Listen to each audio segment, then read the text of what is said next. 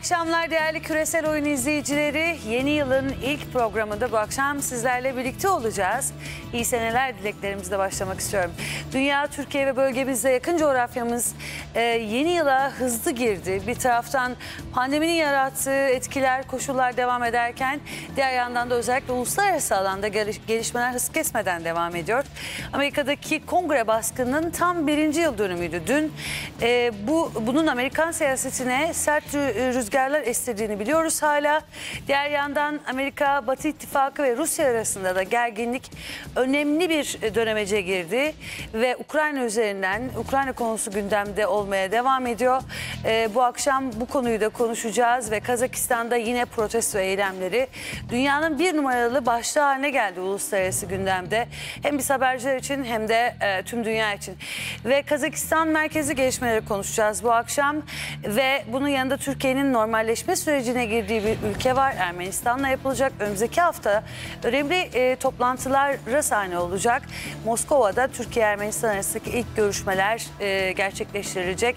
Yine NATO-Rusya konsey toplantıları önümüzdeki hafta e, gerçekleşecek ve e, önemli gündem başlıklarını oluşturuyor bu konular. Önümüzdeki döneme nasıl yansıyacak bu e, toplantılar? Özellikle Kazakistan'daki durum bu akşam ana gündem maddemiz olacak. Ve bu akşam konuklarım değerli Sevil Nuriyeva İsmailov, Star Gazetesi yazarı, Sayın Haydar Uğurç, Orta Doğu uzmanı ve doçent doktor Sayın Ece Baban, Fenerbahçe Üniversitesi öğretim üyesi. Hoş geldiniz efendim programımıza. Hoş bulduk.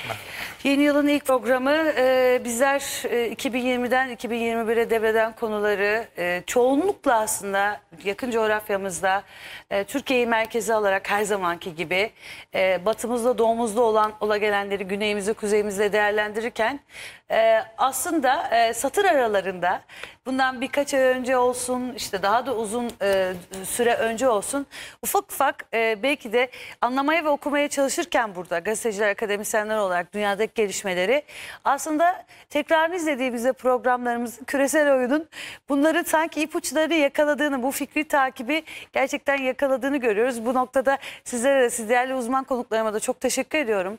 Bu anlamda e, bir ufuk turu yaparken o perspektifi de yakalamış olmak da ayrıca e, gerçekten mutluluk verici. Sevil Nuriyeva seninle başlamak istiyorum. Özellikle Kazakistan'daki gelişmeler hakikaten e, bizim e, öngördüğümüz belki ismini koyamadığımız e, Ukrayna gelişmelerinden sonra özellikle Rusya'nın Rusya ve Batı İttifakı arasında NATO arasındaki bu çekişmede Ukrayna'nın arada kalma sürecinden sonra Orta Asya'da da bir takım dinamikleri etkileyeceğini sen hep, hep, hep vurguluyordun.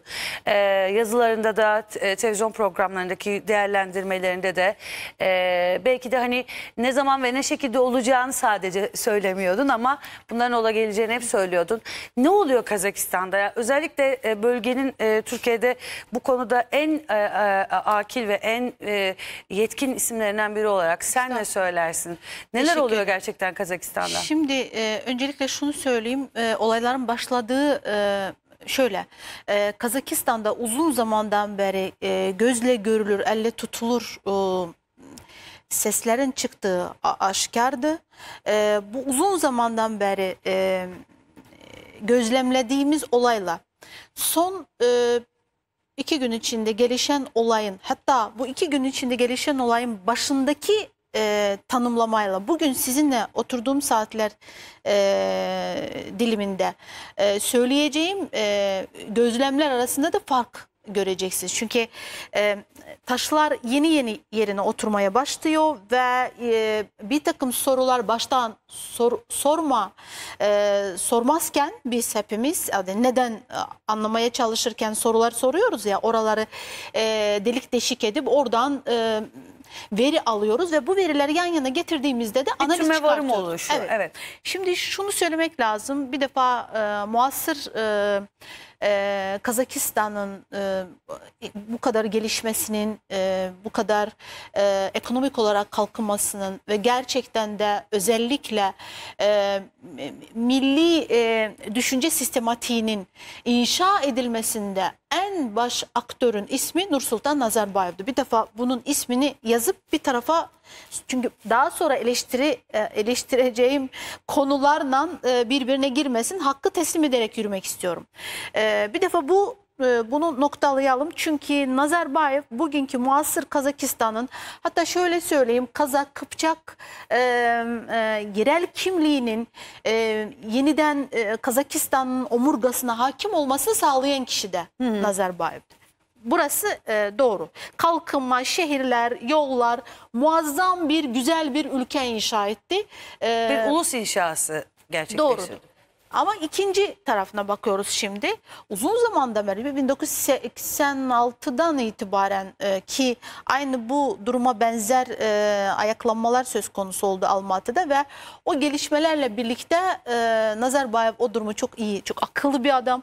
O durumu iyi değerlendirdi ve e, halkın en sevimli ismi olarak ön plana çıktı. E, kendinden önceki yönetimin yerine talip olarak bugüne kadar neredeyse 36-37 yıl, 40 yıla yakın bir dönem içinde e, ülkeyi e, yönetmeye talip oldu. E, bu dönem içinde olup bitenlere bakmak lazım. Yani başlangıçtaki, ortadaki ve şu anda sona doğru maalesef artık e, erası bitiyor e, dememde sakınca yok. Yani Nazarbayev dönemi e, bugünden itibaren bitti diyebiliyoruz. E, şöyle bir durum vardı. E, şeyde e, Kazakistan'da e, nesiller, aileler e, etkindi. Ve Kazakistan'ın siyasi elitini oluşturan birçok ana e, merkezler merkezlerden, halkalardan biri de bu aile ve e, kapitala yani finansa e, kontrol eden e, yapılardı. Nazarbayev ve ailesi e, uzun zamandan beri ister enerji e, projelerinde ister e, e, özellikle bu konularda e, hakimdi bu e, alana ve insanların nezdinde e, bu artık giderek bıkkınlık haline dönüşmeye başladı. Yani giderek başındaki o sempatik çok sevilen Nazarbayev işte e, ülkedeki özgürlüklerin kısıtlamasıyla, ülkede seçimlerin şeffaf olmamasıyla, demokratik atmosferin e, hakim olmamasıyla birlikte e, Nazarbayev'e karşı bakış acısı giderek e, azalmaya başladı. Yani o Olumsuzlaştı. sempati olumsuzlaştı. E, bunu söylerken bir şeyle bir şey bir şeyi de söyleyerek bir tarafa not edelim derim. E, eski Sovyet coğrafyasında en fazla yani Rusya'dan da daha fazla batılı empolar yani sivil toplum örgütlerinin özgürce dolaştığı hesabı kitabı tutulan ama özgürce dolaştığı ülkelerden biri de Kazakistan. FETÖ'nün de ki bunu şu anda herkes FETÖ bağlantısı arıyor. Ben biraz farklı bir e, yerdeyim ama bunu da e, eklemek istiyorum. En fazla finansal altyapısı olan ülke artı e, uyarılara rağmen arasına pek mesafe koymadığı da aşikar. Bunu da bir tarafa not edelim. Şimdi geldiğimiz noktaya bakalım. E, Nazarbayev'in görevden çekilmesi, istifaya gitmesi e, ve devletin başına Tokayev'in getirilmesi sürecin esasında bugün e, bugün ortam oluşturan bu sürecin başlangıcıydı. Yani uzun zamandan beri itirazlar var. Uzun zamandan beri e, Nazarbayev'in yönetim biçimine bıkkınlık var. E, bu sebepten ayaklanmalar olmasın diye Nazarbayev o, o, o- o şeye liderliğe, aksakallığa ve o e, göreve getirildi. Yani bir nevi e, böyle e, kadifeyi değişim yaptı. Kendi iç dengeleri içerisinde. Ama halen devlete hakimdi ve halen bütün e, kilit noktalar Nazarbayev ve ailesine aitti. Dolayısıyla bu durum e, giderek hem siyasi elit içerisinde e, grupların arasındaki açılmalara neden oldu ve giderek mesela Tokayev'in döneminde bakıyorum ben e, Nazarbayev'in yeğeni e, istihbarat, iç istihbarat e, Rusya'daki karşılığı FSB başkanıydı E, ama alındı görevden. Yani Tokayev döneminde ailenin elinin uzandığı bir takım yerlerin e, sınırlanması dönemi de olarak okumamız lazım. E, Dolayısıyla Nazarbayev, e, Nazarbayev ve ailesinin e, mesela damadı Timur e, Kulibe, Kulibayev bütün enerji projelerinin e, ortaklarına ve da Gazprom'un e, direktörler e, Meclisi'nin nasıl e, şura diyorlar Kurulu. kurulunun üyesi. E, dolayısıyla oradan da ciddi bir e, kazanç kaynağı söz konusu ve bu açık kaynar, kaynaklarca belli bir e, tablo. İşte hal gaza böyle olunca e, burada şöyle bir şey oldu. E, fiyatların kalkacak bu sıkıştırılmış gaz ne LPG, diyoruz? LPG. LPG. LPG. Neden bu kadar etkili oldu değil mi? Çünkü e, Kazakistan'da yüzde 60 otomobiller bu, bununla e, hareket LPG gazıyla. Yakıt, yakıt olarak LPG, Evet. yaygın olarak LPG. yaygın olarak LPG'di. E, sahibi kim? Yani hani e, şöyle anlatayım. E, Nazarbayev'in dama e, işte Timur'un bulunduğu bir alan. Neden e, fiyatlar kaldırıldı diye hesap kitap yapılmaya başladı. Çünkü ta 16'sında ayaklama olacak diye Amerika'dan e, beyanlar evet, gelmeye başladı. evet. Doğru mu? Peki soru soruyorum o zaman e, eğer Amerika'dan bile bu beyanlar vardıysa e, Neden işte- engellenmedi? neden engellenmedi değil mi? Yani bunu durup dururken birden 2000 e, terörist get- diyorlar. Evet. O teröristin birdenbire ki e, Kazakistan, Rusya e, o coğrafyalar şöyle diyeyim size e, belli miktar üzerindeki bütün hareketlilik kontroldedir. Yani siz orada bir sivil toplum örgütüne bir para transferi mi olacak? Bu bunun istihbaratı yapılır ve o yerindece boğulur. Coğrafyanın e, kodu böyle. Daha ziyade coğrafyanın Sovyetik bakış açısı ve e, meseleye müdahale şekli böyle. Ama öte yandan son derece koordineli ve e, son derece İşte- organize bir eylem olduğunu Burada- direkt Kazak e, üst e, yetkilileri yani bütün Ama şöyle bir şey var. Tamam söyledi. ben e, işte ondan ondan Kim organize etti? Sorumuz bu. Şöyle bir bir şey oldu. Şimdi tamam e, baktığınızda e, Tokayev çıktı ve hükümetin istifaya gittiğini açıkladı. Evet. E, e, varyantlardan biri şu. Acaba Timur e, Kulibayev ekibini yani ailenin etkisi altındaki kanalları kapatmak için önceden planlanan ama daha sonra kontrolden çıkan bir eylemle mi karşı karşıya kaldı? Çünkü soru soruyorsun. Aşağıdan itirazlar haklı itirazlar. Bakın işçi grubu bu fehle sınıfı deniliyor. İşçi grubuna her zaman onların söylemler bir de biliyorsunuz şehir lümpenleri böyle e, bu dönem bu dönemlerde bu işleri kullanır. İşçinin böyle bir karışıklık arzu etmesi mümkün değil. Çünkü işçi kendi hayatını garanti almaya isteyen bir e, kesim. Evet. Dolayısıyla burada da baktığınızda Tokay bunları ayırdı. Yani işçi grubunun itirazları doğru. Ortaya birdenbire bir Bunu de aynı edenler aynı zamanda kriminal. Aynı zamanda ülkenin her yerine yaygınlaşan hareketliliği kontrol dışı olamazdı. Bir, bu ülkelerde ya kriminal yani e, yeraltı dünyanın e, yöneticiler ki o bölgelerde tamamen istihbarat örgütle- örgütlerinin kontrolündedir. Yani hiçbir yeraltı dünya operasyon e, e, o o grupların operasyonu devletin istihbarat birimlerinin kontrolü dışında hareket edemez. İki ki bu daha çok akla yatkın e, bana daha makul gelen e, yorumdu. E, devlet Tokayev ekibi e, aileyi bu şekilde hani kontrol edeceklerini düşündüler. Bu eylemden hükümeti gönderdiler. Bu eylemden aniden güven e, istihbarat örgütü başkanı e, alındı görevden. Anlatabiliyorum değil mi? Evet. Ve buna çok yatkın Zaten bir bir Tokayev tasfiye vardı. süreciyle eş zamanlı yürüdü. Aynen. Hükümette e, önemli isimlerin tasfiyesi de oldu. Ama şöyle bir şey oldu. Tokayev bundan çok emindi ve e, işçi itirazlarını haklı bularak ayırdı. Birdenbire ortalığa 2000 terörist çıktı. İşte orası kontrollü hani terörist e, bir de uyuşturucu hani görenler öyle diyor. Ben de çok Kazakistan'daki arkadaşlarla e, önce bütün hatlar kesildi. Sabit telefonla e, ilişki, iletişim sağlayabildim. Daha sonra zaten açıldı ve daha sonra bazı bilgiler daha sağlam gelmeye başladı. O zaman anlaşılıyor ki bu çıkıp dağıtan, e, mahveden Yağma. gerçekten de çirkin bir grup ama bu kadar da e, hazırlıklı bir grup söz konusu. Birinci versiyon ki bu giderek daha taşlar oturacak. Ben emin değilim şu anki e, konuştuğumun bu varyantın daha doğru olduğuna bile. Ama her geçen gün taşlar yerine oturdukça bence tablo daha net olacak.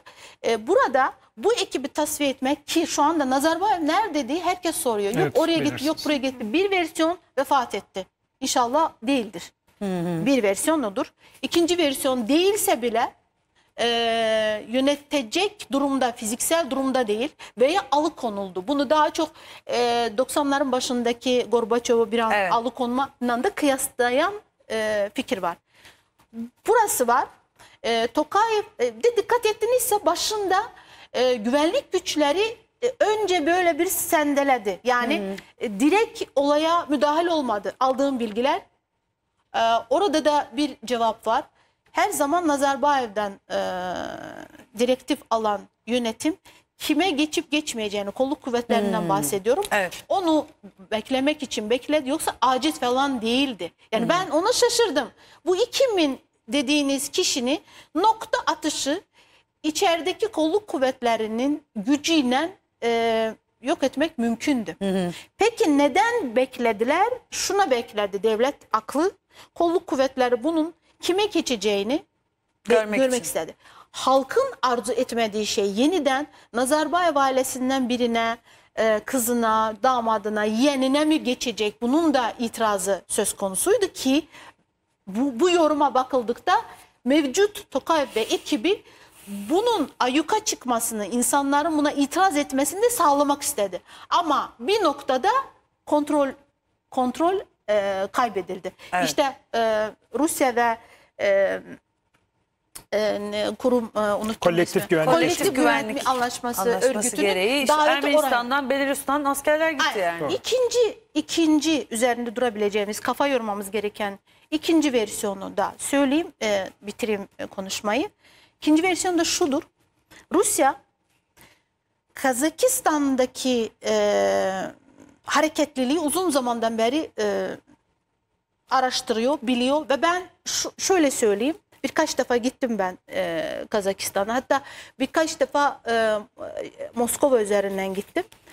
E, çok o trafik içerisinde daha ziyade e, Rusya'nın çeşitli gruplarının, e, kurumlarının e, bireyleri gittiği yani vücut dili vesaire vesaire bazı e, hani insanın teyit edebileceği göstergelerle anlıyorsunuz. Sürekli Kazakistan'da Rusya e, kolluk kuvvetleri istihbari ve diğer kuruluşlarının da hareketliliği söz konusu. Her zaman olmuştur.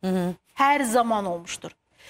Bu nedenle e, buradaki hareketlilik söz konusu ise e, Amerika'nın uzun zamandan beri, Soros'un uzun zamandan beri, FETÖ'nün de uzun zamandan beri orada hareketliliği söz konusu da iddiası var Rusya tarafta. E, o nedenle orta vadede başlayacak işi öne çekip ve kendi kontrolünü almak için zemin oluşturarak devreye gi- girmesi analizleri de var ki Biden e, Putin görüşmesi öncesi Ukrayna masadayken daha mürekkepleştirilmiş, daha hmm, e, çetrefil hale ge- gelinmiş e, sorunla masaya oturmak ve daha fazla pazarlıkla masadan kalkmak isteyen Kesinlikle. Rusya. Evet. Bunun da örneği var. Şimdi bu e, terörist gruplar var ya bunun benzerleri oldu. Mesela 90'larda Azerbaycan'da, Gürcistan'da ve e, Ukrayna'da şu olay oldu. Önce halkın gerçekten de itirazları devreye girdi. Bağımsızlık itirazları. Sonra devreye gene e, görünürde Azerbaycanlı, Ukraynalı e, kişiler oradaki o terörist dedikleri kişiler gibi. Mesela Azerbaycan'da Bakü'de Sumgayit'te Ermeni ailelerinin evine saldırı oldu. Bunu bahane ederek Rus ordusu 20 Ocak'ta e, 19 Ocak'ta Bakü'ye Yani girdi. aslında bu Dolayısıyla burada kaçınılmaz bir durum yani iki, bu. iki, iki olayı da iyi incelememiz gerekiyor diyorum. Yani net olarak bir de Batı'nın, ABD'nin, İngiltere'nin sesinin çıkmaması. Bak Evet. bu çok anlamlı. Buradaki eylemlerde e, hani hazırlık işte ABD Soros yaptı hazırlığını kanıtlamıyor. Yani Evet. yönteme de baktığınızda daha çok Rusya ve Sovyetik bir yapı KGB janrı yani üslubu olarak karşımıza çıkıyor. Yine de tekrar ediyorum iki tane e, veri üzerinden okuma yaparsak bence hani daha ileride daha net meydana çıkacak. Ha bu arada da Belki tutturabiliriz tahmini ama bu Türk çok e, teşkilatına şey falan, olmaz. Türk teşkilatına olmaz. falan da bağlamak Evet. yanlış da besti şu aşamada. Evet. Varsa bile e, zayıf halkadır. Şu aşamada şu yani bugünkü manzarada kendimizi böyle bir kargaşanın ve Kazak devletinin kaderini belirleyen bir kargaşada biz neden olduk diye böyle masaya niye getiriyoruz onu da anlamış değilim. Evet. Evet. Biraz daha Fransız tezlerine yakın oluyor bu tezler ki Evet. Fransa'nın da O Rusya'yı... da mahsus hep, hep rol çalıyor, hep Rusya'yı da rol çal- Türkiye'yi de çalıyor. Orta Asya'yı da Türkiye. Aynen, Bunlar aranı küreyi de bozmak ne için. kadar e, yakın olduğunu e, adı olmadığını E, biliyoruz. Küçücük evet. bir, bir küçücük bir detay anlatacağım.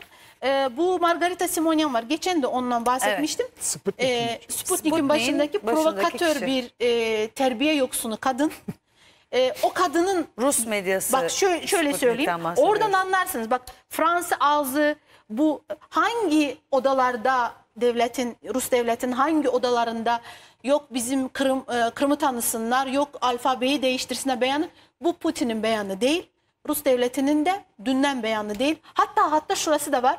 İşgalci de görünmek istemiyor Rusya. İleride biraz başka bir e, denge kurmaya gayret edeceğini de hep beraber göreceğiz. O dengeyi de konuşalım. Aldığım son bugüne Evet. Hani o verilerle birlikte e, şeyim bu. Evet. E, gözlemim bu.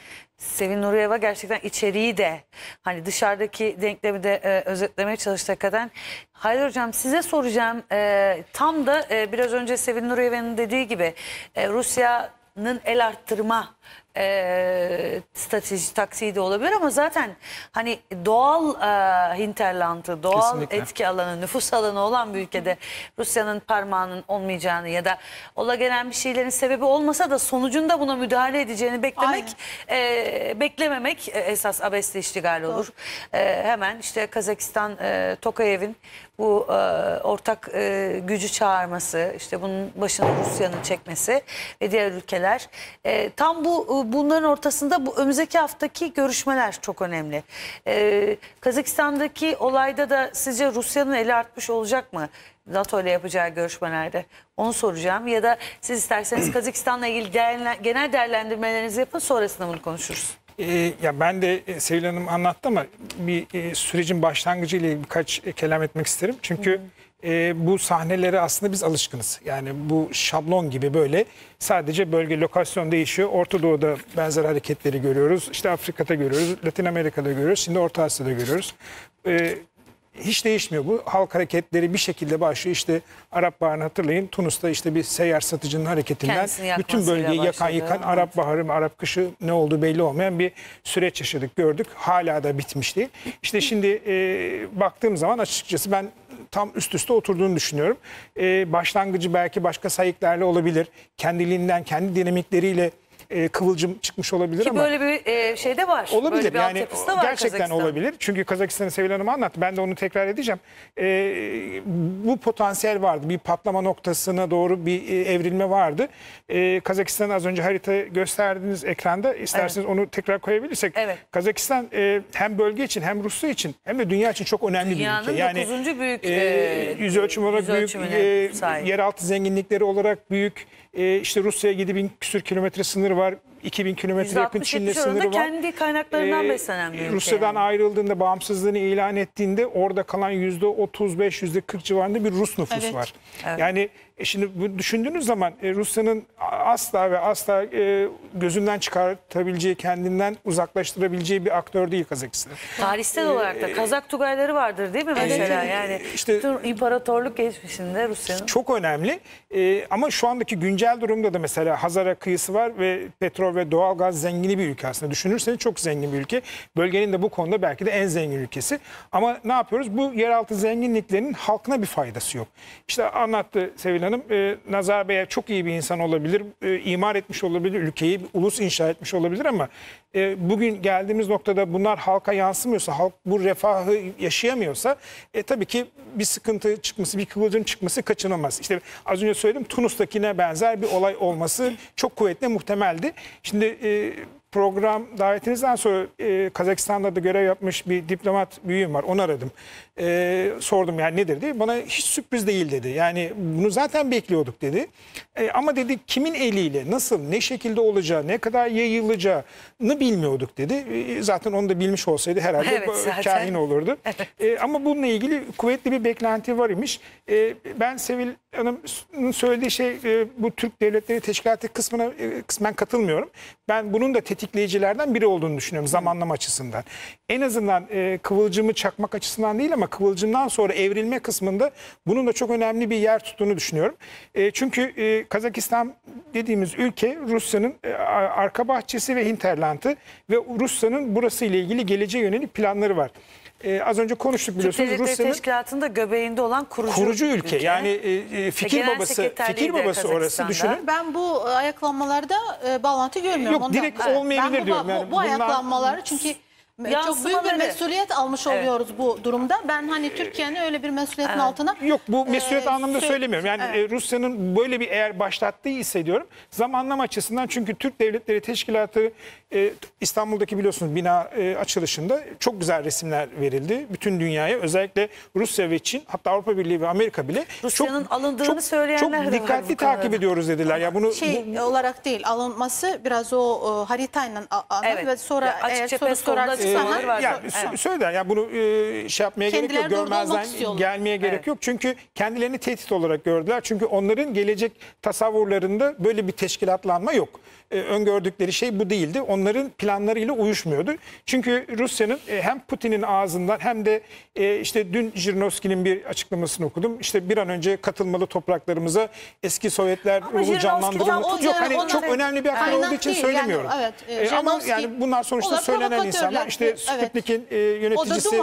Simonya'nın söylediğini e, yani yenilir yutulur şeyler değil. Evet. Resmi bir görevi olmayabilir ama Rus hükümeti de bununla ilgili herhangi bir açıklama yapmadı. Yani arkasındayız ya da karşıyız falan ama diyemedi. resmi, resmi birisi değil ki ona hani şey Sonuçta aç- Sputnik'te yani devlet ajansı gibi bir Doğru, pozisyonda ya olduğu için, için- çok da yatsınmamak gerekiyor bence. Biraz dikkatli e, İçerideki gruplardan bize gerekiyor. bahsediyor bu. Bu söylem Rus devleti içerisindeki e, gruplardan bize haber veriyor Doğrudur. esasında. E, şimdi Rusya'nın e, yani ben olayı Rusya'ya havale etmiş olmayayım E, ama e, yani şimdi ne derler hocam. olağan şüpheli şu anda. burada tamamen çözmeye çalışıyoruz büyük, e, kime puzzle'ı. yaradığı şey vardır ya biliyorsunuz uluslararası Şeyler, ilişkiler evet, konuşurken evet. bir şey olduktan sonra kime yaradığına Kime bakılır yaradı, ya. evet. E, kime yaradı? Rusya'ya Rusya'ya yaradı. yaradı. Rusya'ya yaradığı için dolayısıyla direkt bakacağımız yer olarak belki kolaycılığa kaçıyoruz ama e, bunun e, işaretlerini işte o dün konuştuğum dediğim diplomat e, büyüğümüz bana söyledi. İşte Tataristan'ın özellik statüsü Evet, çok e, evet, kaldırıldı. kısa bir süre önce kaldırıldı. Kaldırıldı. Bu zaten dedi biz bunu haberi aldığımız zaman dedi bir e, hareketlenme olduğunu hissettik dedi.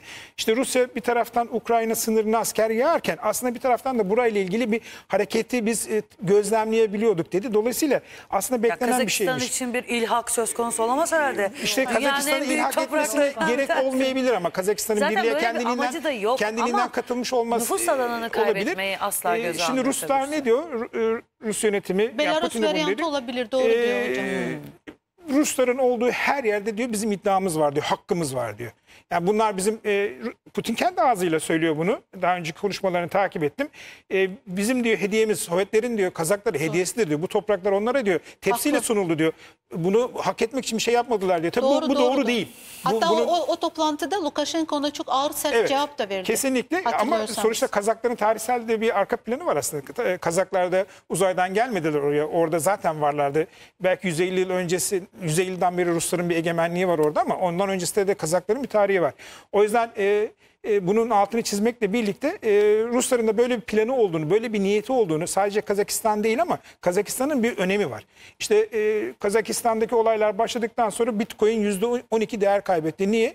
E, %10 civarında Bitcoin faaliyetleri Kazakistan merkezliymiş. evet, evet. Düşünün yani. Çok enteresan, Uranyum evet. fiyatları arttı. Niye? Evet. Uranyumun %60'ı Kazakistan'da Evet. üretiliyormuş. Bu kadar Ya düşünün yani o kadar. Biz belki bu kadar farkında değildik. İşte Afganistan'ı konuştuğumuz zaman oranın Evet. değerinden bahsediyoruz. Şimdi konu Kazakistan olduğu için Kazakistan'ın e, kaynakları kaynaklarından bahsediyoruz. Sanırım artık e, jeopolitik yani jeopolitiğin dirilişi gibi bir e, yani kavramsal olarak bizim konuşacağımız hep her şey jeopolitiğe dönecek dolaşacak gibi Evet. geliyor. Yani e, artık bundan sonraki önümüzdeki Ee, dönemde. Zaten bu da onunla ilgili işte e, belki bir sonraki konuda gireceğiz. E, yakın zamanda Rusların e, NATO konseyiyle toplantısı olacak. E, Putin'le Biden görüşmesindeki biliyorsunuz e, Putin bunu çok net bir şekilde söyledi. Biz dedi NATO'nun dedi doğuya ilerlemesini, eski Sovyet Cumhuriyetlerine doğru ilerlemesini istemiyoruz. Karşıyız bu dedi. İşte Ukrayna'da bunu yaptınız dedi, ne olduğunu gördünüz dedi. E, eğer daha da ilerlerseniz dedi biz buna her türlü karşı koyacağız dedi. Evet, garanti e, istiyor. işte az önce söyledi. E, garanti istemiyor. Bunun için gerekirse dedi savaşsa savaş Evet, dedi. öyle. Bunu net bir şekilde kozlarını oynadı. Rusya kesinlikle e, savaştan çekinmez. Bunu tolere etmiyor. Evet, değil mi? bunu tolere Ama etmiyor. garanti Yani alırsa şu bunu- anda zorlamak istediği şey garantidir. belki Çok de zorluyor. masadaki şeyini e, kozlarını arttırmak için yapmış olabilir ama e, eğer buradan bir karşılık almazsa Hocam çünkü anlaşmaya ilişkin de izleyicilerimiz açısından hani Rusya ne istiyor, NATO ne istiyor onu bir Şimdi hatırlatırsak. o, o, e, anlaşmanın e, ana damarı, e, damarı işte e, 95 yılında atılan e, yapılan bir anlaşma bu. Orada da Rusya e, NATO'nun e, Eski Sovyetler Cumhuriyetlerinin Doğu, Doğu Avrupa'daki ve Asya'daki cumhuriyetlerine var. doğru e, genişlememesini Evet. istiyor. E tabii bu bu kısımlarda biraz e, Rusya e, geri adım atmak zorunda kaldı. İşte Bulgaristan'ı, Romanya'yı falan kaptırdı onları. Evet. E, Yeltsin dönemi olduğu için. Ama Gürcistan'da e, işte Azerbaycan ve Ermenistan'da mesela bu blokajı orada gücünü koydu. Şimdi Ukrayna'daki en büyük direnç bu. Biliyorsunuz geçenlerde o olaylar Donbas'taki olaylar yine e, alevlendiğinde e, Zelenski'nin ağzından biz işte NATO'ya katılımla ilgili bir haber duyduk. Ama hemen Savaş ak- sebebi. akabinde hemen zaten NATO Genel Sekreteri bunu yalanladı. Yok böyle bir şey dedi. Çünkü bu bu çok önemli bir karar. Yani NATO'nun e, Amerika'nın da bu kararı alması Öyle bir için şey olursa e, girer. Yani evet hemen yani girer. bu, bunun Yani ertesi Ukrayna'ya savaş girer demektir. Rusya. Çok hassas bir denge var. E, Rusya'nın da zaten orada bir konuşlanması var, bir yığınağı var. Yani şakaya gelecek bir şey değil. E, dolayısıyla konseyde e, bunu konuşacaklar. E, NATO'dan bu garantiyi istiyor. Daha doğrusu Amerika'dan istiyor. Yani benim diyor e, çevreme, benim e, hinterlandıma girme. Buraları benim tarihsel yerlerim. Ben nasıl senin batı topraklarına ilgili herhangi bir genişleme hayalim ya da böyle bir niyetim yoksa bunu yapmayın diyor ama e, e, tabii e, bu biraz zor. E, bu karşılaşma ve bu yüzleşme kaçınılmaz. Bir şekilde bu olacak. Belki bugün Kazakistan'ı Batı Ukrayna'daki gibi feda edebilir. Ukrayna'ya nasıl biliyorsun söylem bazında hep destekler evet. yapıldı. Çok doğru. Arkanızda izlendi ama e, Buraya son yapmayacak. e, son e, tahlilde getirip oraya bir tane asker koymadılar. Evet. Koyamazlar Hayır, Rusya'nın zaten. bu konsey toplantısında vereceği ödün de şu. işte bu e, ülkelerde nükleer silahların bir şekilde e, deaktive kendi edilmesi. ulusal topraklarından çekecekler. Yani sınır dışındaki Aslında diğer Rusya çok da ülkelerde- bir şey vermeye de taahhüt etmiyor karşıya. Karşıdan istediği çok büyük bir şey tabii. Yani benim etki alanım, nüfus alanımdaki hiçbir ülkeyi NATO'ya bundan sonra alamazsın diyor. Ama, Ama bunun şöyle- sözünü 90'ların başında Bu yeni bir almıştı. şey değil ama zaten. Bu anlaşma imzalanmış bir Aldı anlaşma evet bu. sözü ama işte Ama sonra Amerika anlaşma buna imzalandı. caydı. Bu anlaşma Evet. var yürüdü. Rusya bu anlaşmanın e, yürürlükte olmasını ve uygulanmasını istiyor. Yani siz düşünün şimdi e, Venezuela olayları olduğunda Amerika'nın tavrını düşünün. E, niye? Amerika kendi çöplüğü olarak gördü affedersiniz. E, resmen Venezuela'yı öyle gördü. Ve Rusya'nın ve diğer ülkelerin Venezuela'ya müdahale etmesini engellemeye çalıştı. Evet. Şimdi benzer bir şey Rusya da yapıyor. E, Rusya'yı savunduğum için söylemiyorum ama e, ortadaki durum bu, gerçeklik Doğru, bu. O yüzden de e, Kazakistan konusunda Rusya'nın çok taviz vereceğini düşünmüyorum açıkçası. Ama siz dediniz ki program öncesinde konuşuyorduk Sevil seninle de yani yeni Guaido'lar Evet. Venezuela'ya Amerika'nın atadığı bir Evet. e, Ama devlet bu- başkanının bu şeyle. Kazakistan'da da Ee, bu Tokov'in söylediği bu e, teröristler, FETÖ'cü, DAEŞ'li teröristler falan kısmı var ya bununla Ama o, ilgili o şey, onu şey söylemedi. Tokayev, Tokayev, Tokayev daha ziyade Batı'nı çok fazla e, dikkat ederseniz çok fazla e, kullanmadı ama e, çevre kullandı. e, ben tam e, tersini okudum. Bunlar DAEŞ'li e, ve FETÖ'cü teröristler diye e, söylem e, okudum.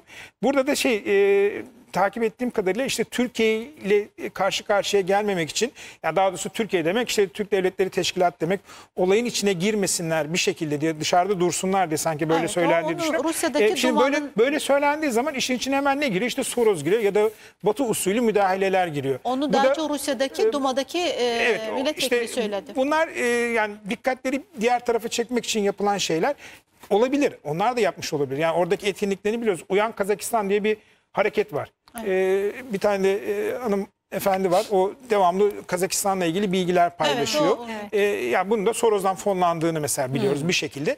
Ee, Sevil Hanım söylediği çok doğru. Yani o bölgelerde, o topraklarda finansal hareketlerin devletin kontrolü Dışında dışında, olması mümkün mümkün, değil. değil. Ya bunlar da aslında devletin e, bilgisi dahilinde olan şeyler ve bir yere kadar, bir ölçüye kadar da izin verilen hareketler. Şimdi Kazakistan e, Rus etkisi çok yoğun bir Rus etkisi var. Yani bürokraside de var, yönetimde de var.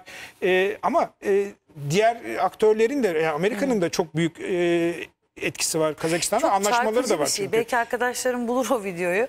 Bir e, toplantıda e, Tokayev'le Putin yan yana oturuyor orada. Başka e, figürler de var, siyasi figürler. E, bir Saddam Hüseyin göndermesi yapıyor e, Putin Tokayev'in e, sözcükleri üzerine. E, çok enteresan O şey yani. olabilir belki biliyorsunuz Nazarbay'ın heykeli e, yıkılmak istendi ya. Evet. Zannediyorum oradan e, Orada hayır e, yani ülkelerin söylediler. artık ekonomik anlamda çok yayılmacı politikalardan ziyade ekonomilerini ayakta tutması gerektiğini söylüyor Kazak Devlet Başkanı. E, hani düşman üretmemesi gerektiğini söylüyor. Aksi halde e, dev- e, bir şekilde rejimlerin e, ayakta kalamayacağını oradan Putin de Saddam gibi mi yani filan gibi böyle bir gönderme yapıyor. Olabilir mesaj vermiş Nazarbayev'i olabilir. çok destekliyordu Putin. Evet. O açıdan Nazarbayev zaten Komünist Parti'nin genel Tabii, sekreterliğinden tabii. gelen çok da e, Sovyet Rusya'ya Politbüro'dan. uzak bir insan değil zaten oradan gelen bir insan. E, bunları söyledikten sonra şimdi müdahale dün e, biliyorsunuz başladı. E, Tokayev'in talebiyle e, kolektif e, güvenlik teşkilatı e, anlaşması teşkilatı e, Rusya'nın başını çektiği işte 2000-3000 asker Rusya'dan. E, diğer Tacikistan'da var Kırgızistan, Kırgızistan'dan var. İşte hatta Ermenistan'dan bile 70 civarında. Ve bu açıklamayı da e, Ermenistan Başbakanı Paşinyan yaptı. Şimdi e, yorumları okudum. Gerçekten Paşinyan'ın bu açıklaması e, açıkçası gururumuzu dokundu. Yani e, böyle bir şey yaşadıktan sonra bu teşkilatı da paravan olarak kullanarak böyle bir şey yapılması bu askerlerin barış gücü e, görüntüsüyle Kazakistan'a girerek e, ve Tokayev'de bugün açıklama yaptı. Atış e, e, şey verilmiş. Vur emri vermiş. Evet, yani o da bence çok sıkıntılı. Çok, çok, Sonuçta çok kendi sıkıntılı. halkını vurduruyor ve Rus askerlerine bombalattırıyor, uçaklarıyla bombalattırıyor. Yani gelmeden e, baktığım videolar falan gerçekten çok kötüydü. Evet. E, sonuçta e, evet e, halkın devlet binalarını yağmalaması, yakması, güvenlik güçlerine saldırması, e, güvenlik güçlerini katletmesi ne kadar kabul en edilmezse son tercih bile olmamalı. e, kabul tabii ki edilmezse yani. yapılan iş de o kadar e, hatalı ve o kadar yanlış. Bunun da bir e, sorumluluğu olması lazım. Bunun da bir hesabının verilmesi lazım.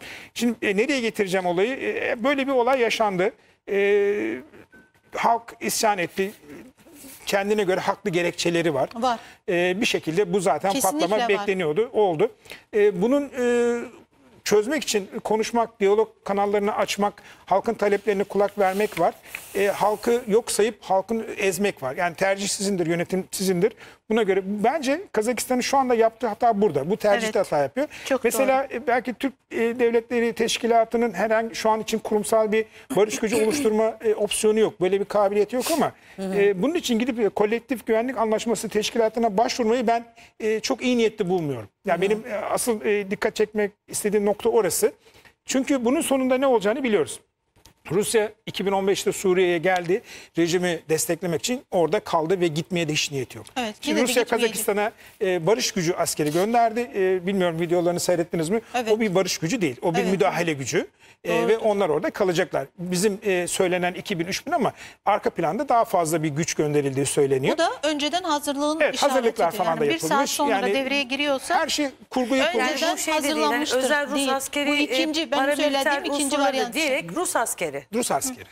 Evet yani bir Wagner'den falan bahsetmiyoruz. Bahsetmiyoruz. Wagner Yok, yok, girdiyse de resmi, ayrıca resmi. ayrıca girmiştir. O da ayrı konu. Yani onu hiç resmi olarak söylemiyoruz. Ya bu da egemenlik e, sorunu İşte e, Zaten- problem orada. şey? Yani e, belki yönetimle halk bir şekilde konuşup e, bütünleşecekken, bu sorunları aşacakken belki Nazarbayev engel oluyordu diye düşünüyorlarsa Nazarbayev'in şu anda akıbetini dahi bilmiyoruz. Bilmiyoruz, Heykellerini yıkılıyor. Bazı kaynaklar da Moskova'ya götürüldüğünü söylüyor.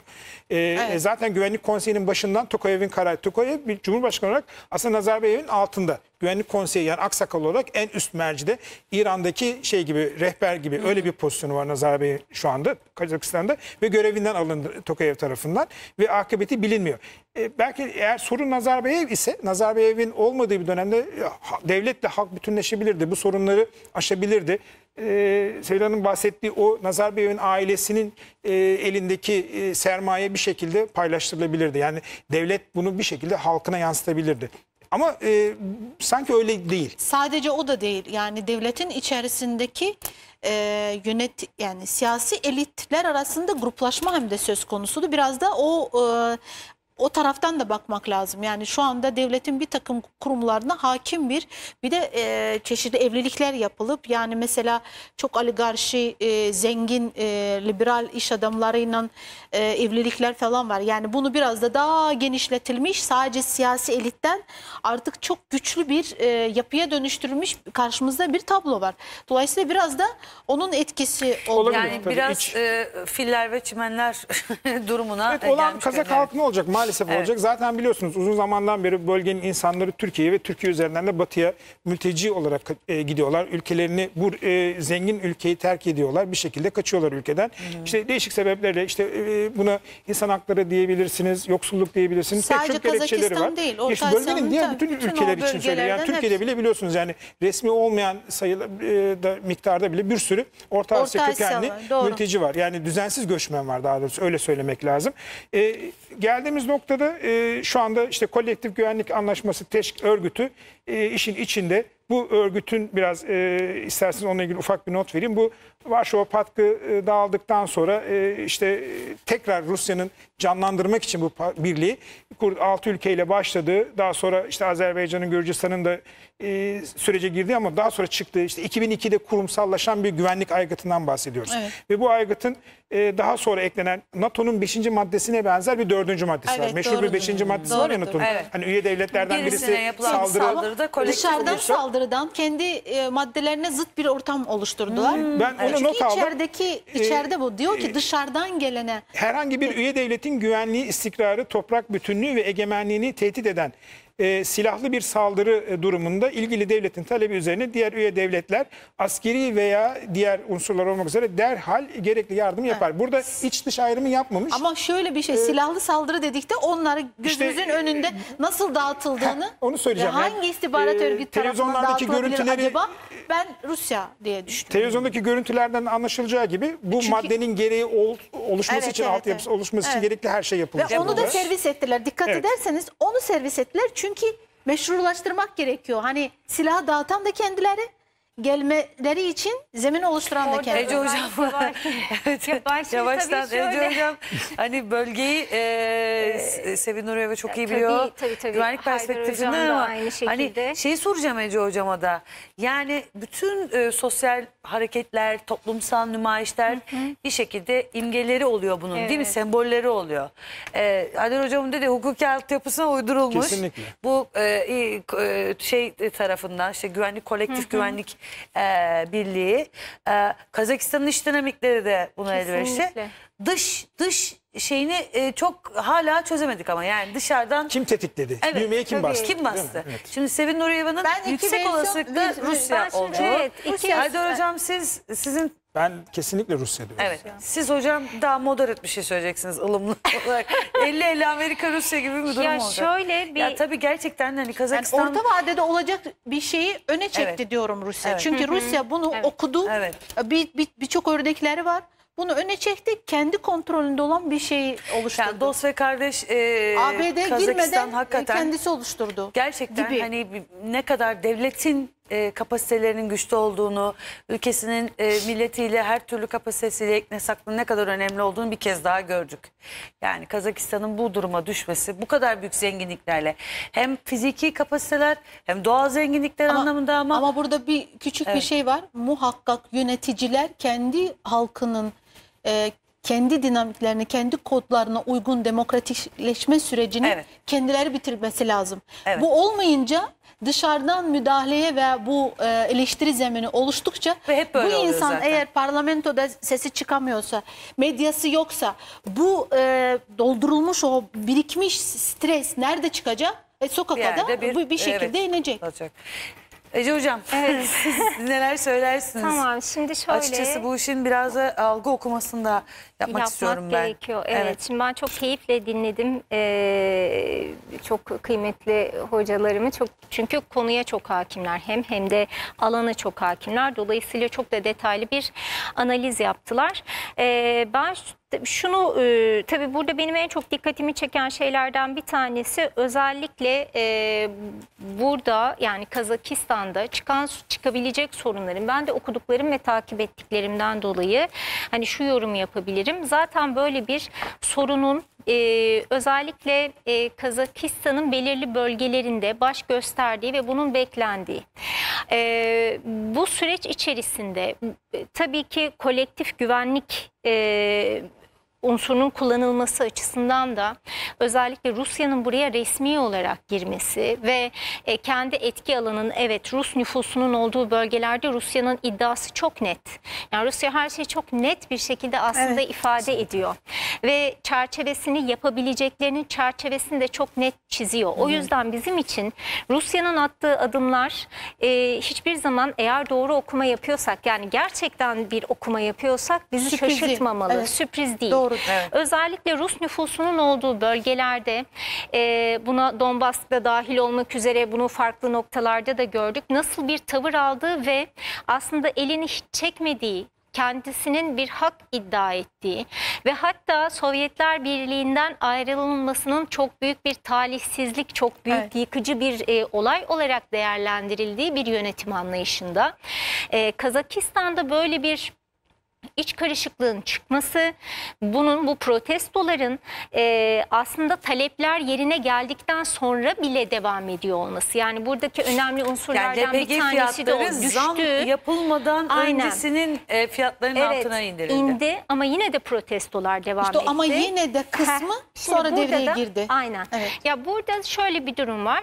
Bir yerden fitilin ateşleneceği belliydi. Evet. Ee, o fitili ateşlemek için Zaman birisleri bekleniyordu, zam- evet. birazcık daha o erken o fitili ateşledi. Sonrasında o belki fitilin ateşledikten sonra o bomba patlamayabilirdi. Gerekli önlemler alınabilirdi. Ama maalesef onun üstüne birazcık daha Zaten şey bu döküldü. eleştiri de Ben- geçen benzin Benzin döktüler. döktüler. Resmen. onun Re- üstüne. resmi Evet. açıklamalara yansıyan e, kadarıyla Şimdi hükümet burada- yetkililerinden de görevden alınanlar var. Çünkü Evet. bunların bu tehlikeyi gördüğü ve zamları bilhassa yaptıkları İşte kim yönünde. yaptı onu? kim Mesele yaptı? o. Mesele Şimdi o. burada bir de şu Bu da çok ayaklanma önemli. Ee, olacağını bil- bilmelerine rağmen. Bence şunun da belki altını çizmek gerekiyor orada. Ee, özellikle Sevil Hanım'ın söylediğine e, katkı olarak hani bir meşrulaştırma Evet. çabasında özellikle e, bu e, Rusya'nın dahil olmasında ve meşru olarak orada bulunmasında terörist vurgusunun çokça yapılması. Kesinlikle. Yani orada tamam kim terörist? Yani, halkı mı terörist e, halk yoksa mı terörist? Dışarıdan Yoksa gelen terörist? Bir de dışarıdan böyle mı el, geldi? el- elleriyle koyulmuş gibi Evet. 2000 terörist var. Madem biliyordunuz o arada Aynen. mı saydınız? Hani Önceden Kazakistan'ın biliyordunuz yaklaşık peki 100 neden kişilik bir ordusu kalkmadı? var Şöyle arada. düşünelim. Yani tabii tabii aciz şöyle bir ordusu yani yok aslında. yok. Evet. Şimdi şöyle düşünelim. Kazakistan'da bu olaylar meydana geldikten yani protestolar meydana geldi ve biz şu anda bunu tartışıyoruz. Kaç gün geçti üstünden?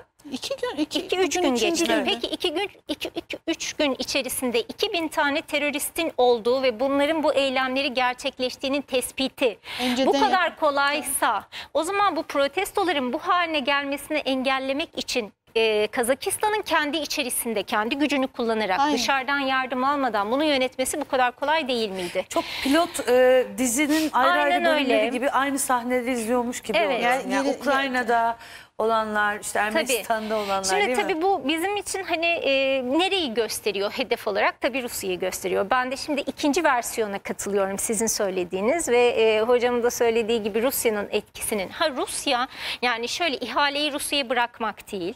Ama e, burada Olağan şüpheli. e, yani a- ve Öyle arka ama planda yani yönetimin şu da burada var ama ben diz boyu hatası var. Bunu, Kesinlikle. bunu teslim etmek lazım. Hani e, şunu da sormak lazım belki. Belki Sevil Hanım daha iyi bunu söyleyecektir bilmiyorum ama Rusya'nın içerisinde de acaba bunu destekleyen farklı bir şey var mı? Yani hani bu karışıklığın çıkmasını e, Rusya'nın buraya girmesi evet ama Rusya'nın kendi içinde de bir bölünmüşlük, bir fikir ayrılığı, bir şey olabilir mi bu konuyla alakalı? alakalı. Yönetimsel anlamda Yönetimsel anlamda Yok, yok. biraz zor. Şimdi e, bunu Putin hayır şöyle Putin tabii ki ama hani belki buna yönetimsel olarak hani Putin şey olarak söyledim ben.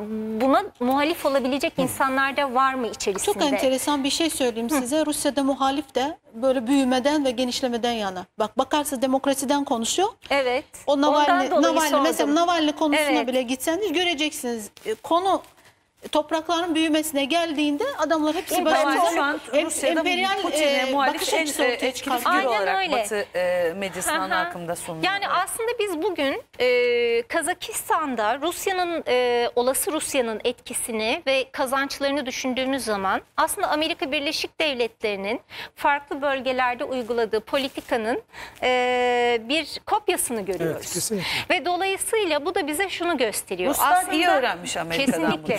Yani birbirine karşı olan iki tane tabii burada ne de var yani ne de çok önemli. Rusya'nın bir genişleme politikası bu e, çok uzun zamandır devam ediyor ve farklı bölgelerde devam ediyor. Rusya bu genişleme politikasını da devam ettirecek. Ve bu Kazakistan'a girmesi demek Kazakistan'da kalması demek.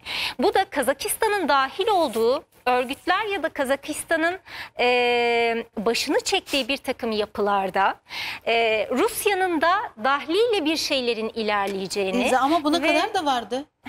Yani içeride olmasaydı ama da daha meşru bir o şekilde ülkelerin bunu o ülkelerin kararlarında Rusya'yla bir istişare şöyle, vardı zaten. Şimdi mutlaka var ama daha meşru ve daha baskın olarak bunu kabul ettirecek Şey düşün ama Kazakistan gelebiliyor. Rusya'ya rağmen Türk Devletleri Teşkilatı'nın Evet. kurucusu oldu. Evet. Mesela. Rusya'ya rağmen. Ama şu anda olamayacak böyle bir şey. Bunu sürdüremeyecek yani. Mes- ya da burada belki farklı Rusya'nın evet orada konuşuruz. e, yani orada ben de çok hani e, okuduklarımdan yola çıkarak bunu yine altını çizmek istiyorum ben. E, belki burada Kazakistan'ın hani devlet olarak daha bağımsız ve egemen bir devlette mesela şöyle düşünelim. Rusya'nın Ermenistan üstünde etkisi var. Mesela Paşinyan birazcık böyle batıya doğru yanaştığı zaman hemen ağırlığını koydu ve gidişatı değiştirdi. Ama e, Kazakistan'da da bir nüfusu var ve gerçekten de bir etkisi var. Ama Ermenistan konusundaki tavrında kaybetmek istemediği bir Azerbaycan da vardı değil mi? Yani ilişkisini Sadece o değildi. Değil, Yeni yeni yol ve yeni e, mutlaka onlar da etkili hepsi. Ama orada bir alternatif yol aradı. Tabii orada bir çatışmadan ziyade orada gücün Anlaşmayı bir tercih etti. ve Evet. anlaşma tercih etti. Ama Kazakistan'da burada Yani sanki çıkarlar yan yana geldi. İlk evet, kez konjonktür e, her iki tarafın Türkiye, Azerbaycan ve Rusya'nın çıkarlarını yan yana. Örtüştü. getirdi. Örtüştü. Ama Kazakistan'da izlediği yol sanki birazcık daha farklı ve bu diğer devletlere de farklı sert e, bir mesaj olabilir. Çok önemli. Bu açıdan değerlendirdiğimiz zaman gerçekten gelecek zamanda atılacak olan tüm adımlar e, bize bu olayı daha net okumamız açısından e, çok da önemli veriler verecek. Ha, diğer taraftan Ben baktığımızda açıkçası e, bir ekleme yapacağım hocam Tabii. tam da burada. E, tüm bu boyutlarıyla işte Kazakistan'ın iç dinamikleri, yönetimsel sorunlar ve yanlışlar artı Rusya ama konjonktür de şu anda. Yani Amerika'nın o restrain dediğimiz yani geri çekildiği bir Amerika. Dünyadan daha pasifiye gittiği ve diğer alanlardan çekildiği. Hadi bu da göreceli ama ya buradan da Amerika'nın yarattığı bir boşlukta Rusya olabildiği kadar agresif olabildiği kadar e, bir şekilde gövde gösterisini somut olarak ortaya koymaya çalışıyor gibi geliyor. Kazakistan'da son sahnesi gibi geliyor bana açıkçası. ben e, son gibi gelmiyor bana Son bilmiyorum. de. Son değil ama hani gördüğümüz Hani son günü- sahne. günümüzün sonu diyor. Evet, Günümüzün sonu. sahnelerden Evet. bahsetmiyorum günün ama sonu. Doğru günün sonu doğru. Evet. Türk doğru. Devletleri Teşkilatı konusuna gelince Rusya'daki kulis e, dedikodusunu yansıtacağım. Şimdi bu bir resmi bilgi falan değil ama çok ciddi ağızlardan çıkan e, hani özel ikili sohbetlerde ağızlarından çıkan e, dargınlığı bir de ki bunun yansıması Peskov'un ağzından oldu. Bir defa e, gözlemci olarak kendilerinin neden e, Davet. Macaristan'ı davet edip de hani şöyle diyorlar işte diyor e, Soros merkezli Macaristan'ın e, İslamsız Turan anlayışını içinde Kabul pekiştiren ediyorsunuz da. Macaristan gözlemci oluyor da ben diyor İslam'a bu kadar Müslümanlara bu kadar hani yakın duruyorum. Ben neden gözlemci değilim bir. İkincisi o e, harita meselesi gerçekten e, üzdü böyle diyeyim. Dargın bir Rusya var önümüzde. Tam tersi Türk Devletleri Teşkilatı ortadan kalksın değil de Türk Te- Devletler Teşkilatı'nda ben niye neden yokum sorusu soran Dargın Rusya mı daha tehlikelidir, kırgın ve kızgın Rusya mı daha yani ben e, hani ben şöyle diyorum biz güçlendikçe Evet. e, o karşımızdakinin dargınlığı, kızgınlığı e, masadaki Dengeleyebilecek göre dengeli. Onun için böyle kimseden korkup etmiyoruz. Biz Evet. biz biz ciddi bir güçüz. Ama şurada elementler üzerinden yani veriler üzerinden doğru okuyalım diyorum. Yani Rusya'nın e, orta şimdi şöyle söyleyeyim size. E, isim de zikretmek istemiyorum esasında. Orta Asya'daki yöneticilerin falan okuduğu okullardan, oturup kalktığı ailelerden, Rusya ile bağlantı içinde bulundukları e, istihbarat ağından anlıyoruz ki e, hareketlilikte Moskova haberdar ediliyor.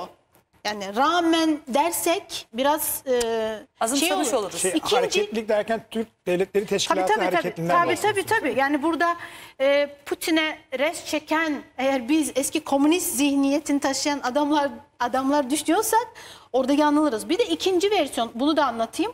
Türk Devletler Teşkilatı modeline kendileri müdahil olamadıkları için yine yorumdu bu. Ee, asla bir resmi ağız.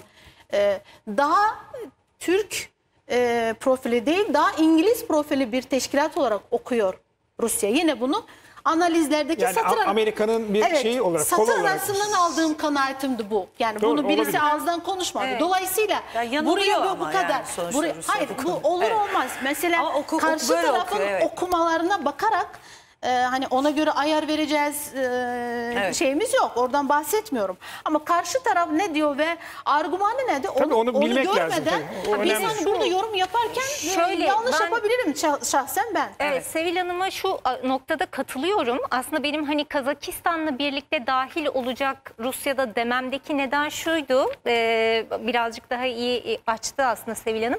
Türk Devletler Teşkilatı e, hani ortadan kalksın ya da işte olmasından ziyade kendisi e, bunun içerisine Kazakistan'da işte meşru bir şekilde olduğunda o zaman Kazakistan'ın olduğu dediğim Aynen. gibi örgütlerin içerisi örgütün yapı neyse o yapının içinde Rusya da olacak. Evet. Böylelikle Rusya aslında kendi kontrolünde ve kendi bilgisi da yani kendi kontrolünde derken sadece Rusya'nın kontrolünde değil ama kendi çıkarlarını koruyabilecek bir şekilde söz Ama sahibi olabileceği bunu bir istiyorsa yapı. direkt söyleseydi Kazakistan'ı Şey, hiç öyle ben- belki- Orada bir Hayır, ekleme bu, yapmak bak, istiyorum. bu meselede Evet, Buna eklemeyelim. Yok, Evet. yok, yok, Çünkü- onunla ilgili değil. Nazire ediyorum Genel ben. olarak yerdeki şey o, yani yaklaşım bu kadar e, vefat eden orada insanlar Evet, var. Buraya biz ortak falan Tabii, değilik. değil, Aman yok, değil, bunu biz, yok. bizim bizimle bir alakası yok. Son Evet. 5 dakika verdir hocama yok sadece şey için. Pozitif Ece hocamın söylediği lafın üzerinden e, Türk Devletleri Teşkilatı ne Rusya ne Çin'e ne de başka bir aktöre tehdit oluşturmuyor aslında. Tabii. Yani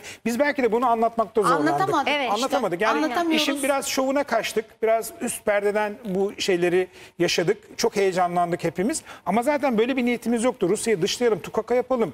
İşte biz bağımsız olalım, Rusya'nın şeylerini, kolunu, kanadını kıralım diye bir derdimiz, Onu, niyetimiz onu yoktu. söylediğimiz andan itibaren sınırımızda oluşturulan yeni devletçikler, bizim Tabii. devletimizin Evet. toprakları aman e, tehdit altındadır dediğimizde karşı taraf bize e, bizim de devletimizin aynen. toprakları tehdit Aynen. altında. Belki de bunu tetiklemiş oldu işte. Ben de bunu anlatmaya çalışıyorum. Tabii. Ama şöyle, Ona göre, Türk Devletleri e, Teşkilatı'nda Rusya'nın olmamasının sebeplerinden bir tanesi de bu. Bu teşkilatın orijinali biliyorsunuz. Türkçe ko- konuşan Evet, devletler evet, evet, Birliği'ydi. evet, evet, E, bu, bu Teşkilata çok, dönüşmesi Nazarbayev'in. O isim babası da Nazarbayev. E, artık böyle yani hayal edilenin de ötesine gidiyordu. O yüzden yani Türkçe konuşan değil. Çünkü Rusya'nın içinde Ama Türkçe konuşulan yerler var. Nazar Bey'i hedef alıyor olması.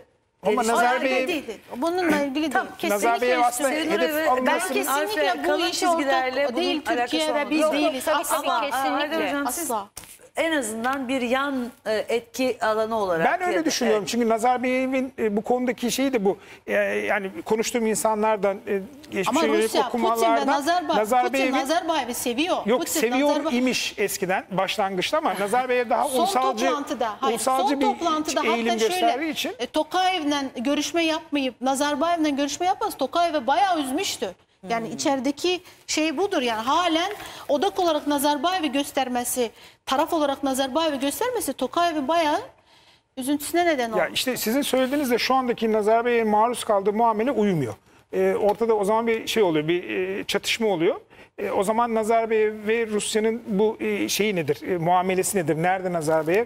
Burada E, madem Rusya'ya o zaman yakınsa... Nazarbayev'e Nazarbayev'e yönelik bir şeyin iç e, perspektiften ben okudum. Dışarıdaki Rusya'nın Nazarbayev hedef alması için oraya girmesine gerek yoktu. Nazarbayev'e gittiyse zaten adam hasta ve e, durumu iyi değildi. Bugün Sağlık durumu nedir bilmiyorum. Olabilir, Yani olabilir. dolayısıyla Nazar bir de e, unutkanlık başlamıştı vesaire. Nazarbayev ciddi bir sıkıntıyla karşı Yani karşıya. Kazakistan kendiliğinden kendi iş dinamikleriyle Tokayev eliyle ya da ordu eliyle Nazarbayev'i geri adım attıracak herhangi bir güç var mı Kazakistan'da? Yok. Şu şu an E şu an ama şu, Şu anda an Rusya var kolluk- çünkü denklemde Rusya var. kolluk güçler evet. Şimdi Tokayev'in e, açıklamasını bilmiyorum takip ettiniz mi? E, kolektif e, güvenlik anlaşması teşkilatını çağırmasının, davet etmesinin sebeplerinden biri de kendi ordusuna olan güvensizliği. Niye? İşte e, Sevil Hanım Evet. söyledi. Çünkü Nazarbayev'in ağzına bakıyor ordu. Yani Bir gün- ordu kimin bir gün- kontrolünde olacağı belli değil. Aynen, o yüzden gidiyor gün- oraya bakın, başvuruyor. bir günden sonra bence bu yani gelişi için güzel bir e, ambalaj oldu. Rusya'nın gelişi için ne güzel. Ben ne oldu bir günden sonra aynı o kolluk kuvvetleri tıkır tıkır herkesi 2000 rakamını bile ortaya çıkardı yani bu kadar karmaşanın içinde. Evet. Amerika'da bir açıklama yaptı bu arada. Amerika'yı konuşacağız e, aradan sonra. Ya ben e, şeyi söylemek istiyorum. E- Eğer Tokayev e, kolektif güvenlik teşkilatını değil de Türk Devletleri Teşkilatı'ndan yardım isteseydi bence daha Yapamazdı. şık olurdu. Yapamazdı. Bence yani yok yani yapar yapamaz imkan ve Yapamazdı kabiliyetten bahsetmiyorum ama e, bu yumuşak geçişi Türkiye tecrübesi var, örneği var. Türkiye'nin e, yaşadıkları var. Diğer ülkeler için de Değil aynı mi? şey geçerli. Bu bile E, planlandığını gösteriyor. işte yani bunu yapmaya fırsat Rusya'nın var mıydı girmesi- yok muydu bilmiyorum ama sanki daha iyi olurdu. Biliyorsunuz Cumhurbaşkanımız hemen e, diplomasiye başladı bununla ilgili. Hem Türk Devletleri Teşkilatı liderleriyle başlamadı görüştü. Ama yani yine de Türkiye'nin hani bir Karabağ, bir Azerbaycan'daki gibi e, bir durum Olamaz zaten. konusu. Yani Olamaz. a- a- Değil. mümkün değil. O, o- öyle bir şey yok yani. Bir, bir kere sınır mesafeden e, bağımsız olarak oradaki ilgimiz e, o zaman Rusya'yı daha da rahatsız edecekti. Tabii. Yani Türkiye'nin oradaki varlığı bir askeri güç anlamında değil. Türkiye akil insanlar işte biliyorsunuz Binali Bey aksakalların başında. Ya o- onun bile varlığı bence etkili olurdu. Bir şekilde etkili olabilirdi. Bir yani de bu denenebilirdi. lazım. Ee, mesela Azerbaycan'daki sosyolojik yapıyla Anadolu insan Farklı. sosyolojisi hepsi aynı. Şey, Kazakistan'da Kazakistan entegre farklı. noktayı nazardan yani Türkiye'nin bugün oraya hitap ettiği takdirde yapı, psikoloji ve karakteristiki farklıdır. Bunu unutmamak lazım. Kesinlikle. Evet. Son, Yani biraz zaman lazım. Evet. e, Olacak inşallah ama zamanla. İnşallah. Son e, saniyelerimiz aradan önce e, ikinci bölümde açıkçası biraz daha artık e, e, pergeli biraz daha batıya doğru kaydırmaya çalışacağız. Türkiye'ye daha çok gelmeye çalışacağız. Bu bölümde e, özellikle Kazakistan'daki gelişmeleri her veçesiyle değerlendirmeye çalıştık. E, sanırım e, daha da konuşmaya devam edeceğiz. Evet öyle gözüküyor. Ee, kısa bir ara veriyoruz değerli küresel oyun izleyicileri. Reklamlardan sonra yeniden burada olacağız.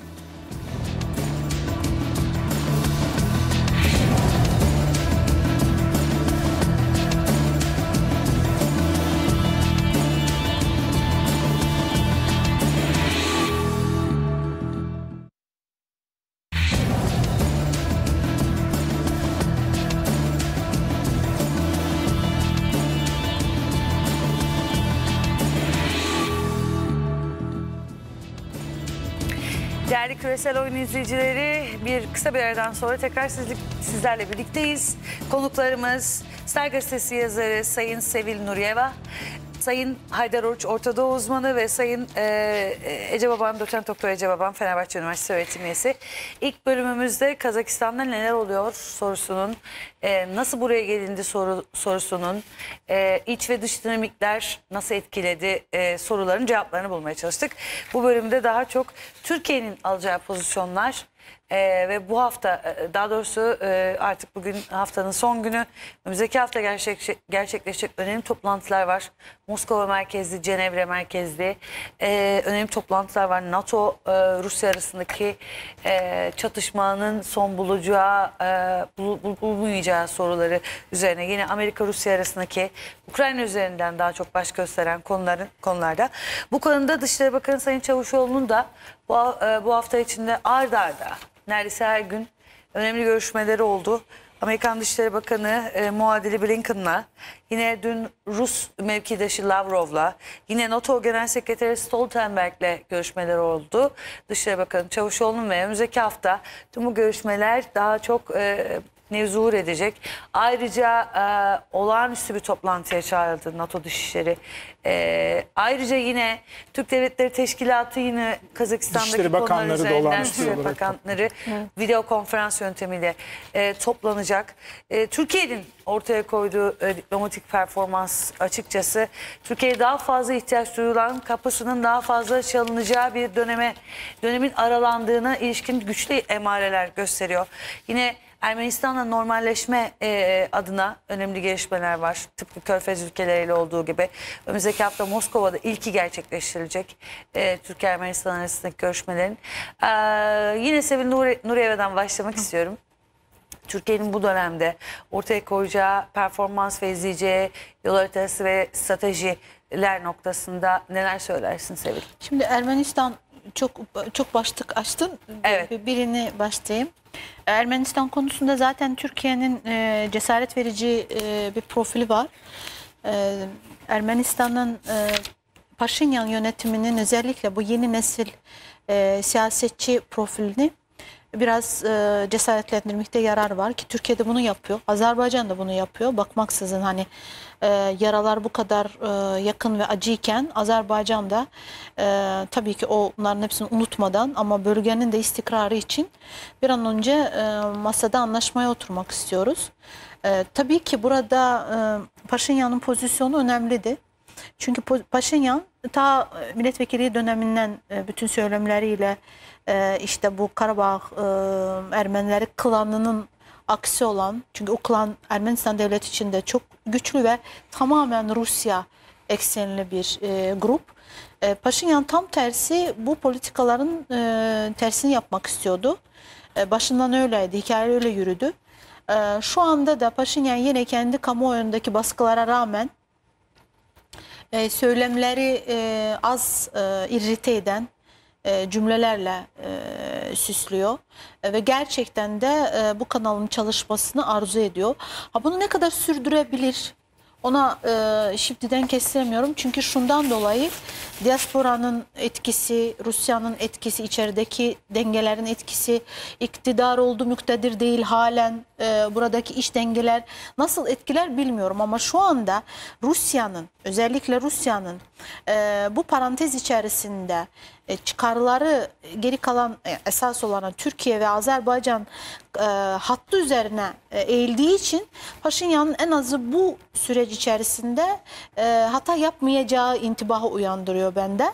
E, tabii ki bunun Rusya'da olması fikri e, Rusya'dan geldi, Geldi. ama bunu e, Ermenilerin üzerine, e, Ermenistan üzerine e, mal edildi. Olabilir, normal. Çünkü Rusya bu denklemde onun dışındaki bir, e, birebir ilişkilerin nasıl gelişeceğini ve kendisi olmadan nasıl şekilleneceği sorusuna kendi kafasında e, tam e, netlik belirlememiş. Ama topyekun baktığınızda e, bu ilişkilerin oluşması Rusya açısından da önemli de nereye kadar, hangi çizgiye kadar onu zamanla göreceğiz. Zaten o çizgiyle anlayacağız Rusya ne kadar, işin ne kadarında e, olumlu ne kadarında olumsuzdu. Ama bu taraftan baktığımızda da yani bu şu anda muhtaç olan biz değiliz. Yani Türkiye değil. Dolayısıyla Ermenistan muhtaç olduğu için ve bu yola Rusya'nın ihtiyacı olduğu için daha çok tolere eden taraf onlar olacak diye düşünüyorum. Yani daha razı gelen taraf. Böyle. Evet. Bu hafta Gürcistan'ın Ankara Büyükelçisi'nin de Deli Sabah'a e, Dilara Aslan'a verdiği bir e, bilgi vardı röportajda. E, 3 artı 3 bu altı, altılı mekanizma. Hani bunu antiparantez söylüyorum. E, Türkiye Ermenistan'la hızlı bir bu anlamda adımları atarken Rusya'nın da e, Sevin Nuriyevi'nin koyduğu şerhe rağmen şu anda olumlu bir Evet. desteği var bu sürece ama işte bu Gürcistan'ın katılmayacağını şey- biliyoruz. E, Evet. bu 3 artı 3 toplantılarına. mesafeli. Çünkü Evet. orada ekonomik olarak kayıp olarak görüyor şeyi Gürcistan.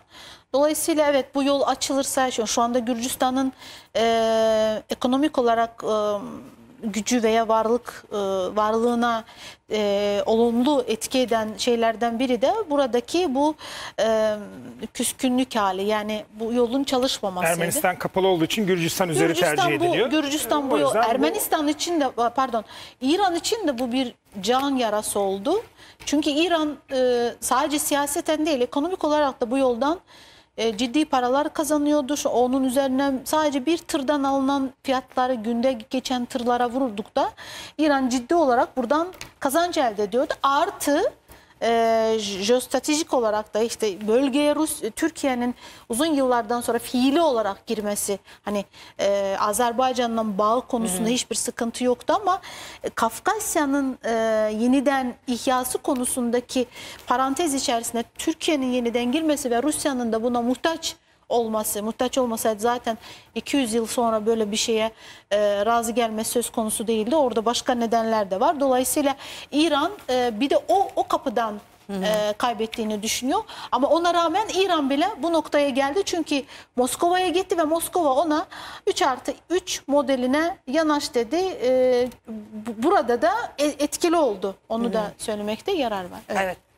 Ya Ermenistan'la normalleşme konusunda ben de e, birkaç şey eklemek isterim. Çünkü e, Sevil Hanım söylediği gibi evet bu iki tarafında kazan kazan formülü kapsamında gereklilik e, olması gereken bir şey zaten ama şimdi bir önceki şey hatırlarsanız 2007-2008 o futbol diplomasisi yapıldı biliyorsunuz Abdullah Gül gitti orada Evet. beraber işte maç seyrettiler sonra ziyaretler oldu. Sarkisyan. 2009'da protokoller oldu İsviçre'de protokoller falan imzalandı. E, ama e, neydi bu E, tarafların talepleri E, işte Ermenistan 1915 olaylarının soykırım olarak tanınmasında ısrar etti. Türkiye'nin de tek bir şeyi vardı aslında e, Karabağ'ın işgalinin sonlandırılması ile ilgili bu Azerilerle olan e, ilişkimizden dolayı da böyle bir şartı vardı. Yoksa e, Türkiye'nin kendisi için istediği aslında orada bir şey yoktu. Azerbaycan'ın BK'sı için böyle bir talebi vardı. E, Ermenistan Anayasa Ama Mahkemesi... o soykırım meselesini kabul etmiyordu. Yani Yok Türkiye hayır o- Türkiye'nin bunu kabul edeceği bir şey yok Tabii, zaten. O e, anlamda tabii, değil. Oraya iş- o tartışma Onların şartı var ya, Pazarlık ondan. konusu değildi Evet, zaten. tabii. Türkiye bunu zaten reddediyor. Ee, oradan istedi yani bizim onlar bizden onu istiyor. Biz de onlardan bir şey istiyoruz. O anlamda söyledim. Evet, Yanlış evet. anlaşılmasın. Ee, Anayasa Mahkemesi'nin e, bir şeyi vardı. İşte e, protokollerle ilgili şey vardı. Ondan sonra da yürümedi. E, ve e, Ermenistan e, soykırımının kabulü, özürü hatta mümkünse de tazminatında ısrarcı olduğu için de o, o mesafeler e, şey yapılmadı. Orada Azerbaycan'ın pozisyonu çok belirleyici olmuştu biliyorsunuz. E, hatırlar mısınız? İşte Sevil Hanım hatırlar. E, birdenbire gaz fiyatları iki katına çıkartılmıştı sokardan gelen gazlar. E, ben orada Azerbaycan'ın tepkisini haklı buluyorum açıkçası. Çünkü e, hani koordineli gittiğimiz bir süreçte e, o dönem yanlış bir politika izlendi ve e, sanki Azerbaycan biraz daha olayın dışında tutularak Ermenistan'la normalleşebiliriz. Azerbaycan e, bunu kabul eder gibi bir e, şey oldu, hava oluştu ama e, olmaması gerekiyordu. Bizim baştan beri onlarla konuşarak yapmamız gerekiyordu ve e, nihayetinde e, Ermenistan biraz da e, diasporanın da etkisiyle o gün o e, çok e, yaklaşan mesafeden geri dönüldü. E, bundan kim kaybetti aslında düşünürseniz Ermenistan kaybetti. Çünkü e, Türkiye'nin ne ekonomik ne siyasi ne de başka bir boyutuyla Ermenistan'a o anlamda ihtiyacı yok. Türkiye'de yaşayan Ermeni soylu e, insanlar var biliyorsunuz. Türkiye'den para kazanarak ülkelerine para gönderiyorlar. Türkiye buna bir şekilde göz yumuyordu. Ama bu e, Ermenistan'ın olumsuz tavrı nedeniyle Türkiye'yi özellikle uluslararası ortamlarda e, işte ülkeleri e, bu soykırımı kabul etmeye zorlaması bir şekilde diplomasi yürüttüğü diplomasiyle ve işte e, Fransa'da bu uç verdi biliyorsunuz işte e, Ermeni soykırımını kabul etmeyenlere karşı e, mahkemeler e, davalar açıldı falan böyle bir süreç yaşadık. En sonunda nihayetinde geldiğimiz noktada geçen sene Biden 24 Nisan'da Ermenilerin tezlerini kabul etti ve daha önceki başkanların büyük felaket olarak tanımladığı şeyi soykırım olarak tanımladı ve orada bitti. E, şimdi bu çözüm e, gerekiyordu. Buradan ileriye gidilmesi gerekiyordu. Bunun için de e, e, Karabağ'da artık özgürleştirilmişti. Aslında rücu etmişti. Topraklar kazanılmıştı. Dolayısıyla e, atalet gerekiyordu ilişkiler için. Bence o anlamda faydalı. Zaten Türkiye'nin genel bir perspektifi var. İşte e, Körfez ülkeleriyle normalleşme, İsrail'le belki Mısır'la e, normalleşme gibi bir trendimiz var şu anda. Bununla ilgili e, dışişleri bürokrasi yoğun bir çaba sarf ediyor. Ya Ermenistan'da neden olmasın? Zaten e, e, Cumhurbaşkanımızın Biden'la yaptığı görüşmede de Ermenistan'la atılan adımlar e, e, aktarılmıştı ve bu konuda da büyük bir destek alınmıştı Amerikan yönetiminden. Niye? E, çünkü Ermenistan üzerindeki Rus etkisinin kırılmasını istiyordu. Amerika'nın aslında olaya bakışı Ermenileri çok sevdiği için, çok düşündüğü için falan değil. Oradaki Rus etkisinin kırılmasını istiyor. Bunu da Türkiye eliyle yapılıyor biliyorsa Türkiye ile ya da başka bir şekilde. O yüzden onların da desteklediği bir süreçti bu. E, gelinen noktada e, işte özel temsilciler atandı. Biliyorsunuz bizim eski siz de tanıyorsunuz Serdar Bey'i. Evet. E, özel temsilci olarak atandı. Serdar Bey'in e, bu konuda sorun çözücü kişiliği herhalde çok e, faydalı olacak, kullanılmak isteniyor. Profesyonel. E, e, evet, kendi diploma, büyükelçi çok zaten. ciddi bir diploma, Ermenistan evet. tarafında da parlamento başkan yardımcısı e, Eski Washington Büyükelçisi Evet. son bir önce. atandı. E, 14'ünde bununla ilgili Moskova'da bir görüşme yapılacak. Moskova olmayabilir de, e, şeyi var. Mesela ben de açıkçası Moskova'da olmasa daha iyi olabilirdi diye düşünenlerdenim. Tabii burada Ermenistan'ın Rusya'yı aşarak böyle bir e, karar noktasında e, egemen olduğunu Ama düşünmüyorum. nerede? Yani. O da var. Ya şöyle Şu olabilirdi. E, hayır, bir nerede? önceki Ne protokoller İsviçre'deydi. ne- İsviçre'deydi biliyorsunuz İşte Batı'nın, protokoller. evet, E, Batı'nın- yani e, Olunca yapılabilirdi. bu sefer Rusya'da işte Ya- gene mi batıya kayıldı diyor. Yani ben orada Rusya'nın o- şeyini anlıyorum. Yani Rusya orada inisiyatifini kaybetmek istemiyor, Evet. bırakmak istemiyor. Bu konuda da kendince haklı sebepleri ama şöyle olabilir. diyor yani buraya geldiğiniz Tamam. noktada ben vardım de ne oldu şimdi onlarla mı Olabilir ama düşünürseniz eğer Karabağ konusunda da Rusya'nın da içinde olduğu Minsk grubu herhangi bir çözüm üretmemişti. Doğrudur, Düşünün, e, doğrudur. Türkiye Minsk grubuna rağmen o çözüm üretilmesinde inisiyatif aldı ve rol oynadı. Doğrudur. Dolayısıyla Rusya eğer çözüm isteseydi e, daha önceden de bununla ilgili e, elini masaya koyardı ve Ermenistan'a çözüm konusunda adım attırabilirdi. Evet. Ama bunu yapmadı. Şimdi e, bu sorun çözülmüşken Karabağ e, Azerbaycan'a geçmişken Rusya'nın e, buradan rol çalması olarak görüyorum ben bunu. O zaman baştan bu e, inisiyatifi alacaktı ve çözümde katkı koyacaktı.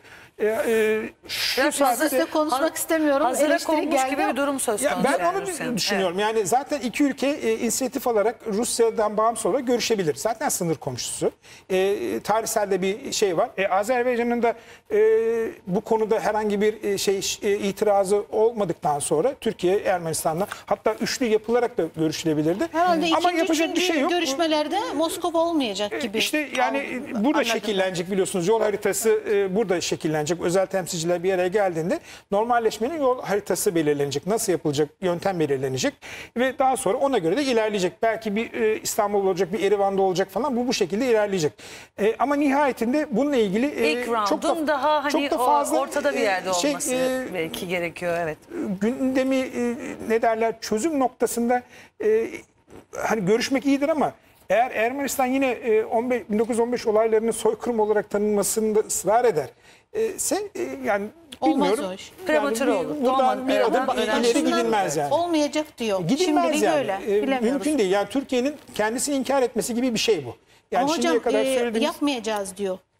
Şimdilik öyle diyor. E, şimdi ön koşulsuz dedi ama Evet. ben e, açıkçası o konuda çok e, itimat edemiyorum. Ben de. E, Ermenistan'ın Aynen, tavrına, katılıyorum. tutumuna. Masaya oturuyoruz. Biliyorsunuz benzer bir süreci biz Güney Kıbrıs Rum Yönetimi, işte Kıbrıs konusu Yunanistan'la da biliyorsunuz yaşıyoruz. Evet. E, orada da oturuluyor. E, Birleşmiş Milletler e, başkanlık ediyor. Masaya oturuyorlar. Oraya gelirken e, herkesteki dosyalar ve gündem farklı. Orada bambaşka bir şey çıkıyor ortaya. E, Rum kesimi gidiyor. Toplantıları terk şey ediyorlar, Yani orada işi şova- görüşmelere şova gelmiyorlar. Ermenistan'ın da sicili var Evet. bu konuda. O yüzden ben çok güvenmiyorum. şekilde Ama Türkiye'ye- görüşmek iyidir. Yani e, görüşülebilir. Sonuçta komşumuz. E, bence Ermenistan'ın e, böyle aklı selimle düşünmesi, yani mevcut gerçekliğe göre bir karar vermesi gerekiyor. Yani 1915 olaylarında ısrar mı edecek yoksa Türkiye'nin daha önce ortaya koyduğu tarihçilerin daha belirlemesiyle net bir ilgili soru sorayım. Yani konjonktür şu anda ne diyor peki? Şimdi baktığımız zaman yani Rusya'nın e, e, alan kazanımı o kadar hızlı ilerliyor ki ve Türkiye bir şekilde buna e, Rusya tarafında ya da Amerika tarafında olduğu du- için değil. Herkesin kazandığı bir e, taktiksel derinliği var Türk dış politikasında artık. Hani burada Amerika sadece Amerika tarafında olalım ve öyle kazanalım ya da sadece Rusya tarafında olalım öyle kazanalım değil. Burada Türkiye kendi menfaatlerini e, e, gözeterek kazanmaya devam Kesinlikle. ediyor. Rusya da aynı şekilde. Doğal E, olarak. ama burada ne kadar fazla oyuncu kazanırsa o kadar fazla hani o e, kapsayıcı çoğunluk e, e, bir zemin oluşuyor. Sizi anlıyorum ama bu sıfır Evet. toplamlı bir oyun. Yani bu sizin söylediğiniz bu e, senaryoda olmuyor. Çünkü e, Ermenistan peki istemez mi yani e, böyle bir Rusya şey? Ermenistan'a baskı yapabilir. Bu konuda Türkiye ile işbirliği yapması, normalleşmesini ve 1915 kozunu kullanmaması konusunda baskı yapabilir. Ve belki Ermenistan bu baskıya boyun eğebilir ama Ermenistan'ın bir de diaspora gerçeği var. Evet yani, Yani onu diasporanın biliyoruz. da batıda olduğu için onların da e, bu konuda e, aynı düzlemde düşünmesi gerekiyor ki bu çok mümkün değil. E, Böyle bir sorun var, böyle bir çıkmaz var. Yani o yüzden belki Ermenistan'la Türkiye baş başa kalsa bu sorunu çözebilir. Hatta Rusya, Dünyanın Türkiye, neredeyse- Ermenistan olsa da evet. çözebilir. Ama işin içine diaspora ve batı şey, girdiği zaman Diaspora Karabağ'da büyük o diaspora miti tamamen çöktü. Çok etkili ama Nur Hanım. O- o evet, yani Amerika'da Ama bu şurada çok şöyle bir etkili. şey en var. büyük e, dış e, diaspora yani yabancı bir etnik grubun en büyük Ya oluşmuştu. şu anda Yahudi e, hükümeti ayakta sonra tutan maddi kaynaklar, e, finansal Ermeni kaynakların lobisi, oradan geldiğini düşünürseniz. Siyasi baskı unsuru olabiliyor kongre üzerinde. Evet. Ancak Karabağ Savaşı'nda o, o, o lobinin... Ama başından de- Ama itibaren son- Karabağ Savaşı'nda yani Karabağ'la ilgili e, e, e, aslında son dönemlerde yük olarak görüyordular Karabağ meselesini. Daha ziyade odakları Ermenistan-Türkiye e, kanalıydı. Yani dolayısıyla Karabağ meselesinde daha etkili Rusya'ydı. Türkiye Ermenistan ilişkileri konusundaki daha etkili diasporadı. İşte Evet. ora- orada bir e, ayrım var. Benim yani öngörüm muhtemelen yani tahmin ediyorum daha doğrusu. E, de facto bir durum olacak. E, 1915 konusunda Ermenistan rezervini koyacak ama ısrarcı olmayacak. Türkiye'den böyle bir yani ilişkilerin normalleşmesi için baskı yapmayacak. Daha doğrusu bu talep yükseltmeyecek. Zamana Türkiye'de göre. bunun karşılığında sınırları açacak. E, zaten biliyorsunuz 1 Ocak'tan itibaren e, Ermenistan Türk ürünlerine yönelip uyguladığı ambargoyu kaldırdı. Ürünlerin geçişiyle ilgili o yol açıldı şu anda. Karşılıklı uçuşlar Ee, başlayacak. işte az önce bahsetti ya e, Sevil Hanım e, işte Gürcistan ve İran'ın bu Zengezur. e, hattan e, pay kapma ile ilgili sorunları vardı, sıkıntıları vardı. Tabii. O e, hat şu anda açılmış durumda ve e, böyle bir e, şey olacak. E, de facto olarak işleyecek süreç. Bir şekilde belki ortada bir metin olmayacak, bir normalleşme anlaşması olmayacak. Ama taraflar e, bu noktada buluştukları için de bu trafik olacak. Çünkü bu trafik e, Ermenistan'ın yaşamsal anlamda çok önemli destekliyor. Yani başka e, sağlayabileceği bir e, kanal yok, bir aktör yok. E, Türkiye üzerinden bunların geçmesi gerekiyor. Doğal Yani olarak da bu konuda anlaşmazlık alanları tamamen çözülmeyecek Bu arada ama evet, Rus- hep söylediğimiz o kompartmantasyon Aynen öyle ticari olacak. olarak birlikte işleyen, kazanalım, işleyen işler konular işleyecek. işlesin ama Diğer konu o rezerv diğer duracak orada. Bu olacak. şekilde Evet. de bir normalleşme olacak İşte diye bu düşünüyorum Rus açıkçası. ordusu da sonuçta e, Azerbaycan topraklarına girmiş oldu. Ee, Uzun vadede bakalım ne olacak. Evet. Ece Hocam sizin de görüşlerinizi alayım. Sonra çok kısa kısa özellikle bu Rusya e, ve NATO konseyi toplantısından ne çıkar onu konuşacağız. Sonra da e, son e, vaktimiz kalırsa Amerikan Kongre Başkanı, Amerikan siyasi, Amerika'daki bu siyasi tabloyu e, belki de tırnak içinde bir çöküşün de neredeyse siyaseten e, onu okumaya çalışacağız. Buyurun. Ee, tabii Türkiye-Ermenistan ilişkileri çok önemli. Neden önemli? Bölge açısından çok önemli ve bir normalleşme sürecinin olması da e, aslında adım adım gelinen bir nokta. Özellikle Azerbaycan'ın e, toprak savunmasından sonra özellikle dondurulmuş bir sorun olan Karabağ sorununun e, bir noktada artık Rusya e, yani e, Azerbaycan'ın toprak savunması kazanımlar ve daha sonrasında da masaya Azerbaycan ve Ermenistan'ın masaya oturmasında Rusya'nın izlediği rol, Putin'in aslında e, aldığı rol açısından. Burada bir normalleşme sürecinin e, adım adım e, hayata geçirilmeye çalışıldığını bize gösteriyor. Tabii çok denklemli bir bölge. Neden? Çünkü Türkiye-Rusya ilişkileri var. Rusya'nın Ermenistan'la olan ilişkileri var ki Ermenistan'la olan ilişkilerinde Rusya zaman zaman Batı şimdi neden hani Moskova'da gerçekleşiyor bu? Çünkü Paşinyan birazcık batıya doğru kaydığı zaman e, Putin direkt cezalandırdı. Yani Evet. bu, bu net. Dolayısıyla e, Rusya'nın etki alanının yüksek olduğu bir bölgeden bahsediyoruz. Azerbaycan'la Rusya arasındaki ilişkiler var. Aynı zamanda e, Türkiye ile Azerbaycan arasındaki ilişkiler var. Yani çok denklemli bir süreç. Dolayısıyla bu süreci e, devam ettirirken de Türkiye ile Ermenistan arasındaki Türkiye'nin Kafkaslar'da altılı bir grup oluşturulmasıyla ilgili bir koalisyon yani orada bir güç e, oluşturulmasıyla ilgili teklifinin içerisinde Ermenistan'ın da olması ve burada kazanımların ne kadar çok artacağı ile ilgili bir teklifi de vardı. Bütün bunların hepsine baktığımız zaman e, ben diğer ülkelerle uygulanan aslında dünyada 2022 yılında hani çok fazla savaş e, Ukrayna'da acaba savaş olur mu? İşte e, Yunanistan'da bu kadar çok silahlanma hani ülkeler karşı karşıya gelir mi? Askeri bir çatışma olur mu?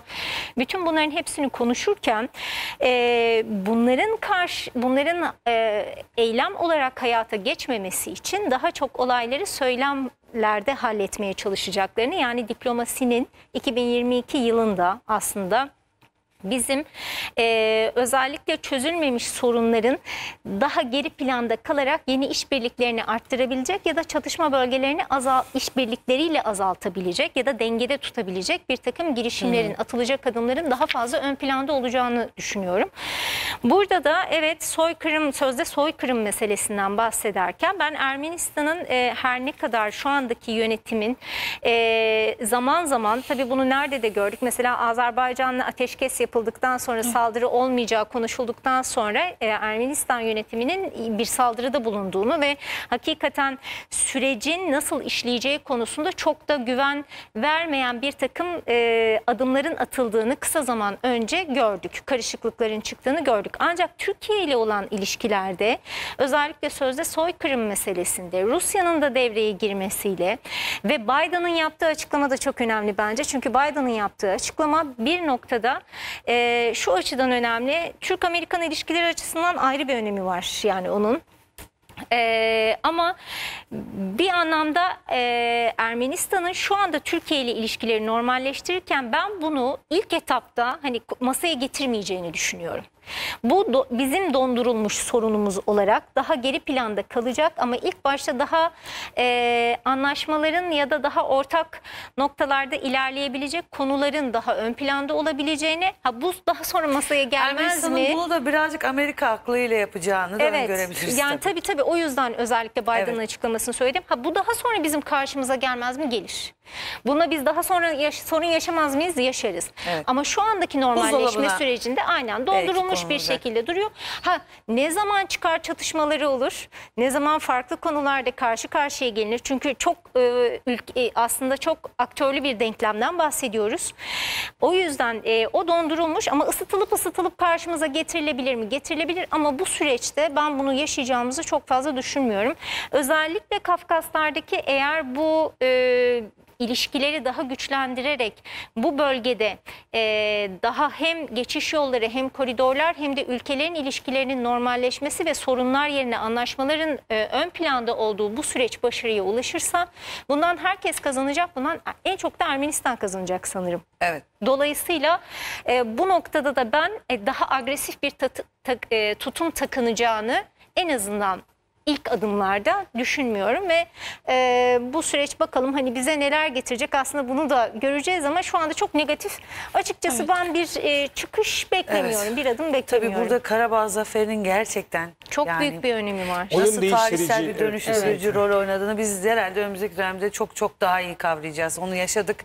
Onun zevkini, onun e, hani mutluluğunu Tabii ama Türkiye'nin buradaki rolü çok önemli. Yani bunu yap- stratejik, jeostratejik etkisinin ne olduğunu, ne kadar büyük olduğunu e, anlayacağız. Sevin Nuriye ve sana tekrar dönmek istiyorum. Kısaca bu e, NATO-Rusya konseyi toplantısından ne çıkar? Bir anlaşma bekliyor musun? Kısaca onu konuşursak e, son olarak bu Amerika e, kongre baskınlanmalarına da girebiliriz. Evet yani e, Rusya'nın beklentisi var. E, Rusya Sovyetler Birliği'nin çöküşü dönemindeki aralarında e, Gorbaçov'un da imzası olan anlaşma yaptılar. Bu anlaşmaya göre NATO e, eski post-Sovyet e, mekanına öyle diyorlar. Eski Sovyet e, sınırlarına yaklaşmayacaktı. Açık açık Putin e, kandırıldık. Daha ağır laflar söylüyor ama e, anlamı budu. Yalan konuşuldu ve bize e, yapılan yapmalarına söz verdiklerini yapmadılar diyor. E, şöyle diyor- NATO ve Batı İttifakı. Tabii diyor ki işte ben sizin sınırınıza mı geldim diyor. Benim e, e, ordularım e, Amerika'nın sınırlarında mı? O, okyanusta mı? E, sizin evinize mi geldi? Gelen sizsiniz e, ve bana niye itiraz ediyorum diyorsunuz. Doğuya doğru genişlemesi. İşte bana diyor bana doğru geliyorsunuz. Bu benim için e, tehditti. Eğer bunu alamazsanız ortada biz biz biz devreye gireceğiz diyor. Yani açıktan diyor ki e, savaşta savaş ben bu Casus işte belli, varım savaş diyor. sebebi. Tabii. Şimdi aynı şeyi o son e, planlanmamış telefon görüşmesi oldu ya e, 50 dakikalık. Onun teşebbüsü yani inisiyatifi e, Putin'dendi. Putin şunu dedi e, Biden'a e, bu e, konuda metnimiz hazır. Kendi müttefiklerinizle metnimizin üzerinde düşünün. Git konuş, bununla te- Evet, istişare et. bize Bana bize kararını bize bildir. son ve ama imzalı imzala diyor. Ben diyor sizin artık lafınıza inanmıyorum. Bana imzala diyor. Metin, Senet istiyor. Uluslararası hukuka dayanan senet istiyorum. Eğer bunu yaparsanız ben de kendi çapımda sizin e, hani sizi zorlayan bazı şeylerde geri adım atacağım ve bunu ulu orta dedi. Bu kadar. Yani beklentisi budu. E, buradan ne çıkar? Süreç gösterecekti ki e, anlaşılıyor değil mi? Bu e, nükleer e, Silahların. silahları olan ülkelerin hepsi Evet. kendi aralarında e, işte Çin, Rusya hani bunu Beş ülke azaltma- resmi olarak. e, şey etti, deklarasyon üzerinde düşündüklerini söyledi. Bunun bir tehdit olduğunu anlıyorlar. E, özellikle böyle sinir uçlarından oynadıkta hangi duygusal refleks devreye girir ki ya hatırlıyorsanız hatta e, çok zor dönemlerde Sovyetlerle neredeyse nükleere az kalmış ki Hruşçov e, dönemi nükleere az kalmış Çin'le arasında Kissinger ki Kissinger'in e, konuşmalarını ve yorumlarını e, Rusya da çok önemsiyordu. E, dolayısıyla e, oradaki o ortada şu anda konuşabileceği o e, kapalı diplomasini sürdürebileceği kişi de yok ortada. Rusya daha ziyade o tür e, özel kişilere çok güvener. Kendi tarafından hani e, uzun yıllar bilinen kişinin özel e, temsilci olarak gönderip temsilci değil, demeyeyim de böyle aradaki o e, anlaşmazlıkları ortadan kaldıracak hattı oluşturan e, kişilere hep ihtiyaç Şerpa duymuştu. diyoruz değil mi? Bunun diplomasisi de birazcık Ama da. şu anda ona gitmiyor. Putin artık açık oynuyor. Açık oynadığı için de e, garanti istiyor. O garantini düşünün, e, düşünün karşıma öyle çıkın diyor. Ve ona da e, ondan da olumlu beklentisi var. Yani ne kadar büyük beklentisi var diyemem. E, Özellikle anladığım Ukrayna kadarıyla ve Kazakistan'daki gelişmelerden sonra biraz daha Ukrayna Putin'in- konusunda Ukrayna konusunda şöyle bir e, kulis bilgisi var. E, yani söylemde evet girmeyecekler diyor ama e, gireceğine dair de hazırlıklar var. Dolayısıyla e, eğer karşısında öyle bir şey görmese şöyle gidiyor. Daha böyle e, net adım atarak yani konuyu e, diplomatik dille uzatmadan fiili eyleme geçip karşısındakini e, masaya oturtmak e, stratejisini e, öngörüyor Rusya. Hep şöyle yaptı işte Gürcistan olayında görüyor, Kırım olayında görüyor vesaire. Burada da öyle yapacak gibi. Çünkü başka yol bana bırakmadılar diyor Putin. Evet. Peki Haydar Hocam Putin'e güvenilir mi? Biraz böyle hani güzel çok soru. yakın bir ilişkiniz varmış gibi sordum ama hani iyi yani lider okuması yaptığımız zaman. Ya Putin tabii, peki e, alırsa bu senedi uyar mı yani nükleer silahların Ben kaldırılması? Putin'i bu konuda aslında haklı buluyorum. E, çünkü ortada bir anlaşma var, bir metin var zaten. Evet. Yani şimdi e, Sezar'ın hakkı Sezar'a diyorsunuz. NATO ile Rusya'yı aynı e, cümle içinde kullanıyoruz. İnsanlara biraz tuhaf gelebilir ama bu anlaşma 2002'de yapılan bir anlaşma. Biliyorsunuz işte Sovyetler dağıldı, çöktü gitti. Ortada bir büyük bir boşluk oluştu. Bu boşluğu da Amerika e, çok fazla şey olmasın diye e, yayılmasın diye, sıkıntı olmasın diye bölgede e, Rusya ile bir e, anlaşma imzalayarak e, o boşluğu doldurmaya çalıştı. O, hatırlarsınız belki Sevil Hanım, işte Rusya'nın nükleer silahları Kazakistan'da orada burada Evet. terör örgütlerinin eline mi geçecek? Ben çok iyi hatırlıyorum. O dönem hep bunlardan Amerika'da bahsediyorduk. çok korkmuştu, evet. dünya e, istim üstündeydi. Yani ne olacak acaba belli değildi. Bir sürü binlerce nükleer silah var. Değişik bölgelerde, değişik coğrafyalarda. Birisinin buna sahip çıkması gerekiyordu. Dolayısıyla Rusya'nın da kontrollü olarak ayağa kaldırılması gerekiyordu. Tamam Amerika tek kutuplu dünyayı yaratmıştı ama olmuyordu. Bu, bu oyunun da bir tarafı olması gerekiyordu. E, terazi tek taraflı e, e, yürümüyordu. Dolayısıyla 2002'de bu anlaşma yapıldı ve bu anlaşmada da e, böyle bir taahhüt vardı. Yani NATO'nun eski Sovyetler e, Sovyet devletlerinin olduğu bölgeye genişlememesi, buralarda Amerika'nın üst kurmaması ve mümkünse nükleer silahlarının da ana kendi e, ülkelerinde bulunması ile ilgili hocam unutmayın Amerika'nın askeri üst dağılımına baktığımız zaman işte Asya Pasifik'te çok fazla Almanya dünyada en fazla üssünün Avrupa'daki olduğu merkez ülke. zaten biliyorsunuz. Ama Rusya'ya en yakın şu anda üst yığınak olarak Yunanistan gözüküyor. Yunanistan. Ama bu çok çok güncel Son bir şey. sizin- Tabii sizin çok söylediğiniz. güncel olarak. Ondan Ama önce İ- böyle bir- İran'ı çevrelemek için bölgede yaptığı üsler de var aslında. Düşünürseniz Evet. Orta Asya'da da Amerika e, yok değil. Orada da var aslında. Bir şekilde var. E, onu Kırgızistan. unutmamamız lazım. E, şeyi düşün yani Pakistan Pakistan'daki varlığını, Afganistan'daki varlığını daha 15 Ağustos'a kadar 25 Afganistan'da büyük bir daha varlığı az. vardı. Ben 25 üstten daha fazla olanları söylemeye Tamam, çalıştım e, ama şu bu çok güncel bir olay Yunanistan olayı. E, bu anlaşmanın ruhuna aykırıydı bu. Yani o iyi niyete, o salt anlaşmaları, nükleer silahsızlanmalar, NPT anlaşması falan filan bunları e, hiçbirini e, yani NATO kanadı ve Amerika e, bir şekilde kendi genişlemesini göz önünde bulundurarak Rusya'nın da buna çok da fazla ses çıkarma şansı yoktu o dönemler. Çünkü şu andaki o ekonomik işte doğal gazdan kaynaklı ekonomik gücü de yoktu, siyasi bir gücü de yoktu. Dolayısıyla bir şekilde o geçiyordu. İşte bu e, konsey 2014'e kadar, 2002'den 2014'e kadar bir şekilde yıllık toplantılar yapıyorlardı. Rusya'nın Kırım işgaliyle bu askıya alınmıştı. 2016, 17, 18 sonra tekrar yapılmaya başlandı. E, ve şu anda işte geçen aydı galiba görüşmede Rusya talebini iletti. İki maddeden oluşan bir talep vardı. Ee, Sevil Hanım söyledi ben tekrar etmiş olayım. Bunlardan bir tanesi işte Rusya'nın e, NATO'nun e, doğuya açılımının e, sonlanması daha fazla Rus hinterlandına girilmemesi, e, bu bölgelerdeki, bu devletlerdeki Rusya'dan, eski Sovyetlerden kalan askeri altyapının kullanılmaması, Rusya aleyhine tabii ve e, nükleer silahların da burada bulunan nükleer silahların da geri çekilmesiyle ilgili. Şimdi bununla ilgili ayın 10'unda siz de söylediniz e, Rus ve Amerikan yetkililer bir araya Önce gelecekler. ikili görüşecekler, Bir, e, sonra NATO görüşmeleri yapacaklar. Ayın konseyi. 12'sinde de NATO e, Brüksel'de bunun toplantısı olacak. Bununla ilgili e, aslında bence şu anda Rusya çok net. E, zorda olan e, NATO ve Amerika. Çünkü karar vermeleri gerekiyor yani NATO onların. da çok rahat durmadı yani sonuçta. E, işte bir karar vermeleri itibariyle. gerekiyor. E, Rusya başlangıç noktasında duruyor. Sabit orada talepleri ortada çok sarık talepleri var. Ama NATO e, bu taleplerin yerine getirip getirmeyeceğine karar vermesi lazım. Bunun için de nasıl bir okuma yapması lazım? Bir tarafta Ukrayna'ya bakması lazım. Bir tarafta Kazakistan'a bakması lazım. Bir tarafta ne bileyim işte düşünün Akdeniz'e bakması lazım. E, bir tarafta Polonya'ya, Finlandiya'ya bakması lazım. Şimdi İskandinav ülkelerinin hissettiği rahatsızlığı daha önceki programlarda konuşmuştuk biliyorsunuz. Polonya çok kuvvetli bir Rus e, tehdidi hissetmişti. E, ya bunların hepsini okuyarak bir karar vermesi Finlandiya'ya lazım. yanılmıyorsam geçenlerde F-35 İşte statüsü falan yani orası İskandinav ülkeleri de çok büyük sıkıntıda. E, bunların hepsini topladığın zaman NATO'nun zaten varlığıyla ilgili bir ortada tehdit var ise eğer e, NATO'nun da buna göre karar vermesi gerekiyor. Yani e, stratejik kararını verirken e, eski Sovyet Cumhuriyetlere gitmeli mi? Oraya kadar yayılmalı mı? Yoksa e, Rusya'nın yaşam alanını ona bırakmalı mı? E, niçin? İşte Avrupa'nın güvenliği için. Zaten bu konsey toplantısında NATO Genel Sekreteri Stoltenberg'in e, açıklamasını okudum. Ana gündemimizde Avrupa'nın güvenliği olacak. Eğer Avrupa'nın güvenliğini bu kadar NATO düşünüyorsa eğer e, Rusya'nın istediği bu tavizleri vermek zorunda diye düşünüyorum ben açıkçası.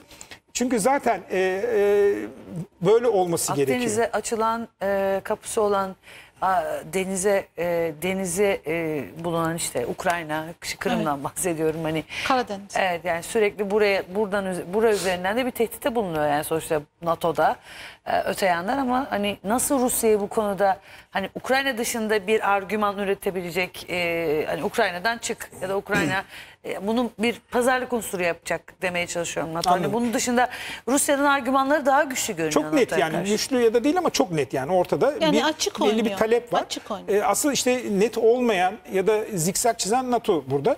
Ee, yani biz de NATO'nun içindeyiz. Sonuçta bu bizi de bu karar bizi de bağlayacak aslında. Ama Hani zikzak- sanki bizim dışımızdaymış gibi bir NATO var, e, evet. söylemek e, biraz belki abes kaçıyor ama e, gerçekten de böyle bir durum var. Yani e, ve e, mesela NATO bu toplantıyı bu görüşme yaparken Türkiye'nin güvenliğiyle ilgili bir e, Rusya kaygısından bahsetmiyor da Avrupa'nın güvenliğini önceliyor. Neden mesela değil Ama mi? işte yani da ayrı bir, e, Atlantik e, e, Teşkilatı'ndan ironi. bahsediyorsanız Evet. böyle olması Bundan gerekiyordur dolayı herhalde. da e, Türkiye'nin E, direkt ben o yüzden Türkiye'nin biraz daha bu konuda e, sanki e, şey Daha daha e, relax bir relax tutumu var. re- Çok da fazla şey olma- yapmıyor. Yani, yani- NATO bu konuda Rusya'nın taleplerini kabul etse de oradan çekilse de ya da bununla ilgili çatışmayı göze alsa da yani bilmiyorum şimdi 5. madde işletilecek mi? Yani NATO'ya direkt üyeye yönelik bir şey olacak mı olmayacak mı o ayrı bir konu. Ayrı bir tartışma konusu ama e, bir şekilde bu karar verilecek. Ben yine aynı e, Ermenistan konusunda olduğu gibi de bu toplantıdan da bir sonuç çıkmayacağını düşünüyorum Evet. açıkçası.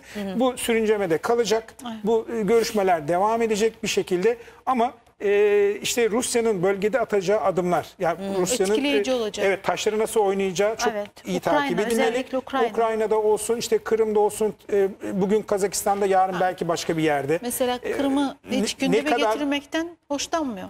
Tekrar tekrar. Evet. Evet yani e, ama işte Rusya'nın da e, tartmaya çalışıyorlar. Yani ne kadar ciddi blöf mü yapıyor e, yoksa bu konuda samimi mi bunu anlamaya çalışıyorlar. gerçekten Ama bu çok riskli bir oyun tabii yani. Kırma da girdi yani. NATO Blöf mu ya- okuyamıyor? İşte, yani. blöf yapacak Karadeniz'in güneyinden e, yukarıyı daha iyi okuyabiliyoruz Şimdi galiba. okuyamıyor demeyelim çünkü eğer okuyamıyor olsaydı Amerika'nın e, Yunanistan yığınağını herhalde e, açıklayamazdık. Okuduğu için herhalde bunu yaptığını düşünüyoruz ama tabii Yunanistan'a yaptığı yığınak Rusya'yı o bölgede engellemek için yeterli değil. Evet. E, bu belki sadece bir boyutunu e, karşılayabilir, e, şey yapabilir ama diğer bölgelerde Kafkasya'da ve daha Orta Asya'da ya da Avrupa'da az önce saydığımız ülkelerde Rusya'nın genişlemesini ya da Rusya kaynaklı tehdidi engellemez. Dolayısıyla çok iyi düşünülmesi, karar verilmesi gereken bir şey. E, ama şöyle de bir faktör var. E, daha düne kadar Biden gelmeden önce Trump'ın NATO ile ilgili görüşlerini düşününce e, işte NATO'dan çıkmak, NATO'nun lağvedilmesini söyleyen bir Amerikan başkanından Atlantikçi bir başkana geldik. E, o da NATO'nun da aslında e, zikzaklı olduğunu ben e, görüyorum.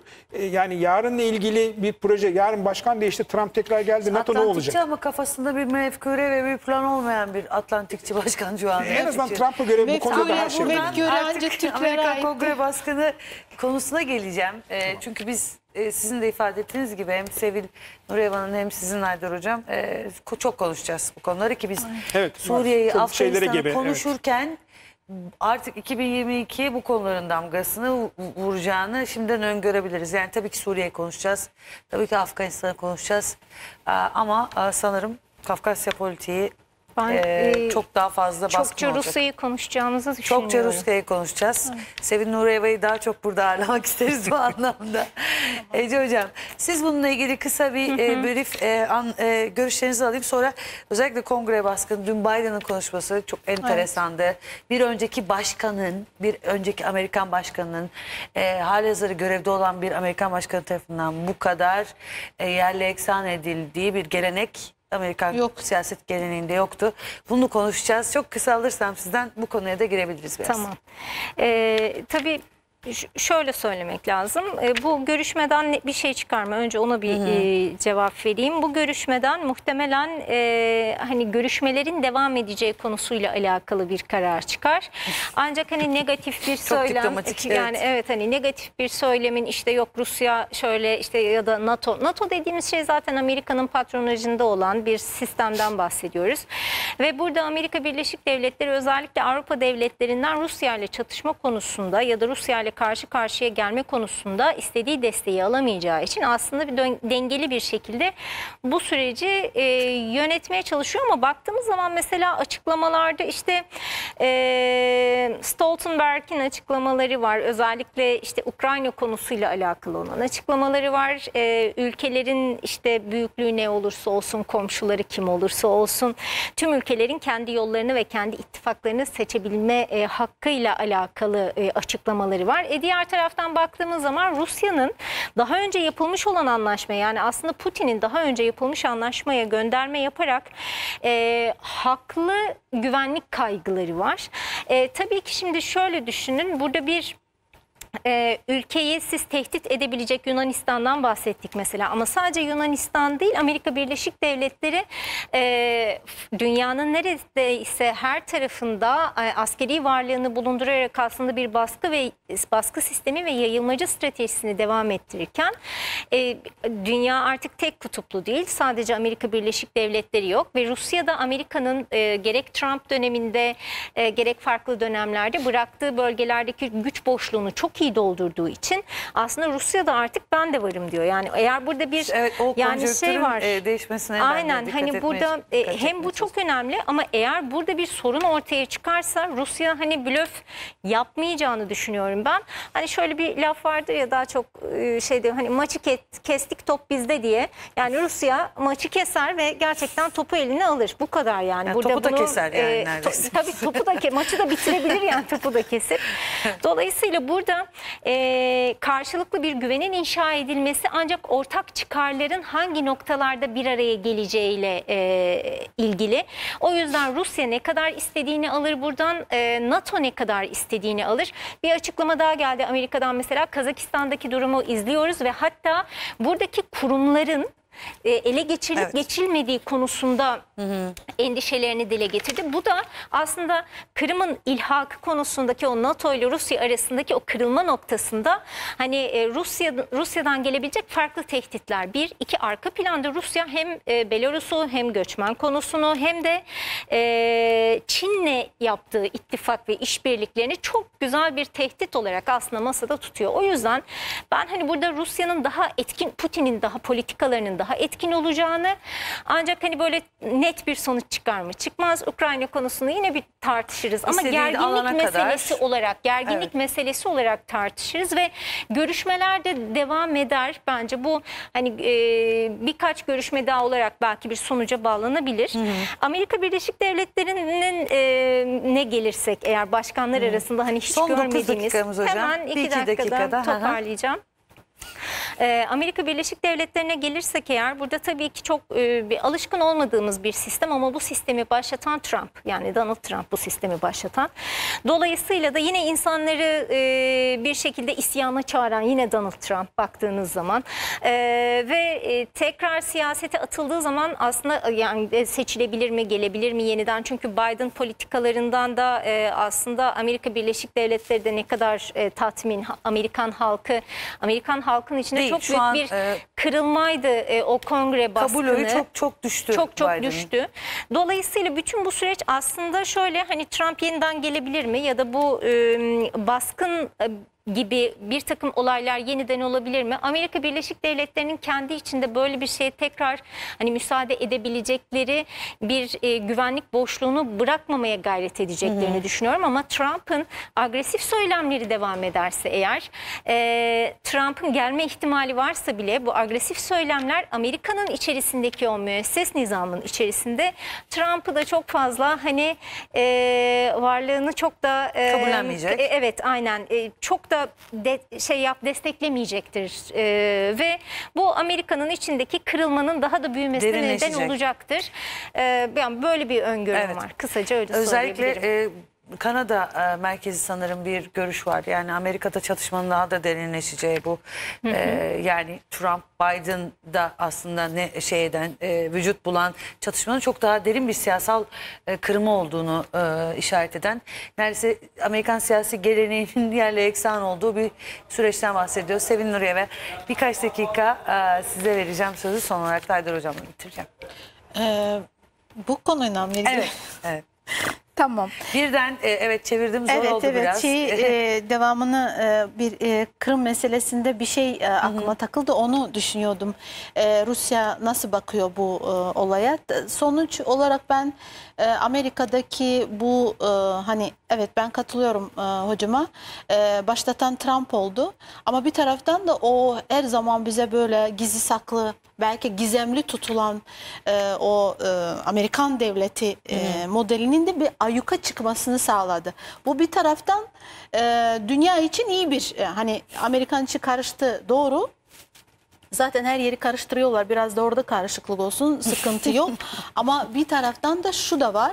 Artık giderek işte Afganistan şeyinde e, olaylarında da gördüğümüz gibi artık giderek e, her yeri kontrol etme e, hırsına ve e, talip olan bir e, devletin, ülkenin e, veya yöneticilerin bundan sonraki aşamada e, bir nevi e, bütün bunların hepsini kapsayamadıklarını da görebiliyor. oluyoruz. Evet yani şu anda biz Amerika her şeye e, her şey yapabilir e, sorusuna cevaben e, gördüğümüz işte olaylardan Rusya için anlıyoruz her şey ki yapabilir derken Amerika için tam aksine Şöyle neredeyse. Rusya'da en o azından sınırlı. daha evet. Hayır, tam Sınırlı. tersi Rusya'da e, sınırlı yapmaya başladı ama buna da kapı açan Amerika'nın izinsiz her yere müdahalesi oldu. Yani dolayısıyla kendisi örnek olarak e, bunları e, kullanılmasına izin verdi diye düşünüyorum. Ama bir taraftan da Amerika'nın bu yüzünün de ortaya çıkması, kendi içindeki hesaplaşmaların ortaya çıkması bu iyi bir şeydi.